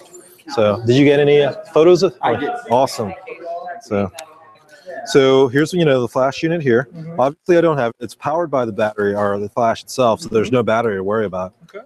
And goes right in. And so you put it on whatever channel you want, so you can independently put it on. Um, like put this on one, so if you adjust zero, it doesn't affect this. And so what you may want to do is kind of like just paint, you know, you know, paint a one or something on it, or put a label, and uh, yeah. So that's it. Does Godox have a similar thing? Yeah. Oh, these are universal. I mean, they're all. And so with these Neewer ones, just you buy a bunch of Neewer ones, Right. and because it's the unit. What happened with the Neewer one is it's not the unit that's bad. They got a bad bat- batch of batteries, and so you can actually feel it here. This one is an issue. That little bulb in the center, and so it's you could feel like right here if you feel carefully. If you get a bad one, it expands even further, Oh, really? and the cell goes Yeah, back. now I can put the. Yeah, where with the Godox one, uh, it's being used right now. They got they got good cells, and so essentially it's a Neewer bought a bad batch, and now they're dealing with the repercussions of that. Where Godox and Cheetah has gone through, you know, Okay, I'll try yeah. Yeah, so- Like you said, those are about sixty bucks cheaper, Yep. bucks cheaper. So here's the question: Did you leave with at least three things that you didn't know before? Oh, absolutely, more than, So- yeah, no, no. So, One of my goals is I wanted to know, I wanted a reliable, inexpensive flash out uh huh. So that's one item. This is two. Yeah. My PocketWizard mini is expensive. Yeah. That's three. That's great. So yeah, So, no, no, I'm very, ha- very beneficial. I'm happy then. So We're need to learn about lighting. lighting yeah, I do. need to- I mean, I did the thing in school, but we're gonna, and, but we're gonna need to ask some questions about we need to start. Of course, man. setup, And I'll give you a buddy. I'll give you guys a buddy pass discount or whatever. I do one-on-ones, but with the lighting stuff, thank you. Yeah, yeah, we just, like I said, you do so good in these, man. I don't, you know. Yeah, but just uh, just make sure to hit more of these, Joe. Yeah, So, we're going yep. to, we're going to. I finally got me a partner now, so. Yep. But uh, I need to go back. I only have three classes to finish it. I never did math, portfolio, and final. Dude, I failed two remedial math classes. I said, I'm out of here, Yeah. man. So I took my couple certificates and I left. yeah, it's pretty. I should just go. You know, I got the. That is unbelievable. You were so good, man. But truthfully, though, you know, the uh, I went more for marketing. I took all the marketing electives. I ended up with like, you know, how we're supposed to have like 120 hours of credit. I had 97 hours of credit with marketing by itself. And so that's why I changed my degree in marketing. I was just like, because you know, the, the thing, the camel that broke the camel, or the straw that broke the camel's back was, you know, we're all students. You know, the uh, Mac on campus, I won the student of the month, and they they gave the school 1,500 bucks under my name. And I was like, Miss Finch, I would like to finish school. You know, Mac on campus will not answer crickets. I called. They're like, we'll call you back. Never call back. They just absolutely zero. Like, they don't want me there. You know, I just eighteen hundred dollars. I'm not giving them winning. And I was like, hey guys, you know, and I was just like, yeah. What was the content? oh, it's just like uh, the Mac on campus. Remember that company? I can't remember Yeah. yeah, I remember. Yeah, they do the PocketWizards. I was chosen as a student of the month because you know, and so yeah, and so it sucked too because you know, I told for th- three years I was told telling people like, hey, it's a Dude, there fun. was a lot of hating on you when you were there. Yeah, I mean, it was everywhere you went. But I mean, you know, hey, that's what the leader. That's what happens when you're a leader. I mean, that's you know. So welcome to the, you know. yeah. It's just, but you know what? I wake up every morning and I realize this is a luxury. There's no one. This is never going to be a necessity. You know, this isn't nursing. This isn't any of that. This is fun, and I am thankful every day that I get to do. So. photography and dogs. I mean, that's the joy of my life. As far as what I do with the dogs of them and stuff like, yeah, go ahead. Taking pictures of them and stuff like that. That's the joy of my life. I That's- I love photography. and it's it's and it's great and it's it's a luxury it's a joy all the time you have you you follow me on facebook right Oh yeah. so actually uh, that's where i got a You see my business partner? We were hating on you when you were in school. Yeah. I mean, No, it but did you did you see my business partner? As soon as you see her eyes, Yeah. I as soon as you that. see her eyes, you're like, what? So I love that woman. So I didn't get to that, but, Yeah. but um, yeah, that was yeah. I follow you on Facebook. I watch your stuff all the time. So Absolutely, and I tell everybody, this dude, well, as far as technically, say he's anal. he's like one of the best in the world. Several photographers that we were in there with went on. The guys right ahead of us. and the guys Mhm. right ahead of us. yeah, Damien, uh, Damien and Gustavo. I haven't seen them in a while. Yeah. what's that girl's name? They have a picture over in China, the baby picture over in China. Was it uh, was it Amanda or was it uh? Amanda. Remember when had the baby picture? Yeah, the one that looked like uh, what's her name? Uh, the one that looked like Anne Geddes type photos. Yeah, that I'm trying to remember. Was that a, yeah? Was it a, was it Amanda or no? I don't remember, but it was. You said it, I remember because I've been Yeah. friends with her on Facebook. I've even I even referred somebody to her for a wedding Hmm? like two years ago, you know, right after I got out of school. But, uh, Is he happy now? matter of fact, I referred to both of y'all, but I think they actually wound up using. Hey guys, uh, hey Rodney, let other people shoot. She's gonna be here for a while. Hey guys, cycle through. Let everyone uh, let everyone shoot. Use the triggers if you guys can. So, sorry about that, Sean. Oh, that's uh, So, fine, man. and I am. I guess I am anal in a certain way like that right there. Yes, you what? I am anal in a certain way to tell people what to do. Man, So, should. That's, that's, you know, that's, you're, technically, you're the best. I mean, you're the No, best. I no. So no. technically, uh, so I'm thankful. I still play in Photoshop a lot. um, so I didn't have the trigger. Oh yeah, I know, sir. I'm just gonna, you know. Oh. So, I got a question. It's good to that's good you. seeing you, buddy. So, How does it work with the uh, membership and everything? Because I was here at that one class for Lightroom. yeah, well, And then I, Yeah, the membership is any of these member events. You pay twenty five bucks. You remember it for the year. I mean, last year, if you, if you go over whatever, um, and you just come to any member event, and so you just pay twenty. It really is like we don't enforce. We don't look at memberships, but we just try to make it so worth it. Where people are like, you know what, it's worth my money. You know, even one class. There's been a few people already who are like, this twenty five bucks covers just this one session that I already had. yeah. And so these are these are they're all like this. They go in depth, and it's really just like you have a question. It's you know here's a consultant who does photography will answer any question you have as long as it's within this threshold of you know information we're giving. And so the membership, you pay 25 bucks, you have it for the year. You know, and then you if it says if it says MAS member event, open. So do I need to pay again tonight? No, no, it's a it's a just a, if you paid it before, you don't have to pay it again. And so and if you want to give us anything, feel free. But if you want to, yeah, put in so. some there, and I want to Yeah. Oh, one sec. It's her chip. Oh, sorry. Is it not fitting on there right? Sorry, one second.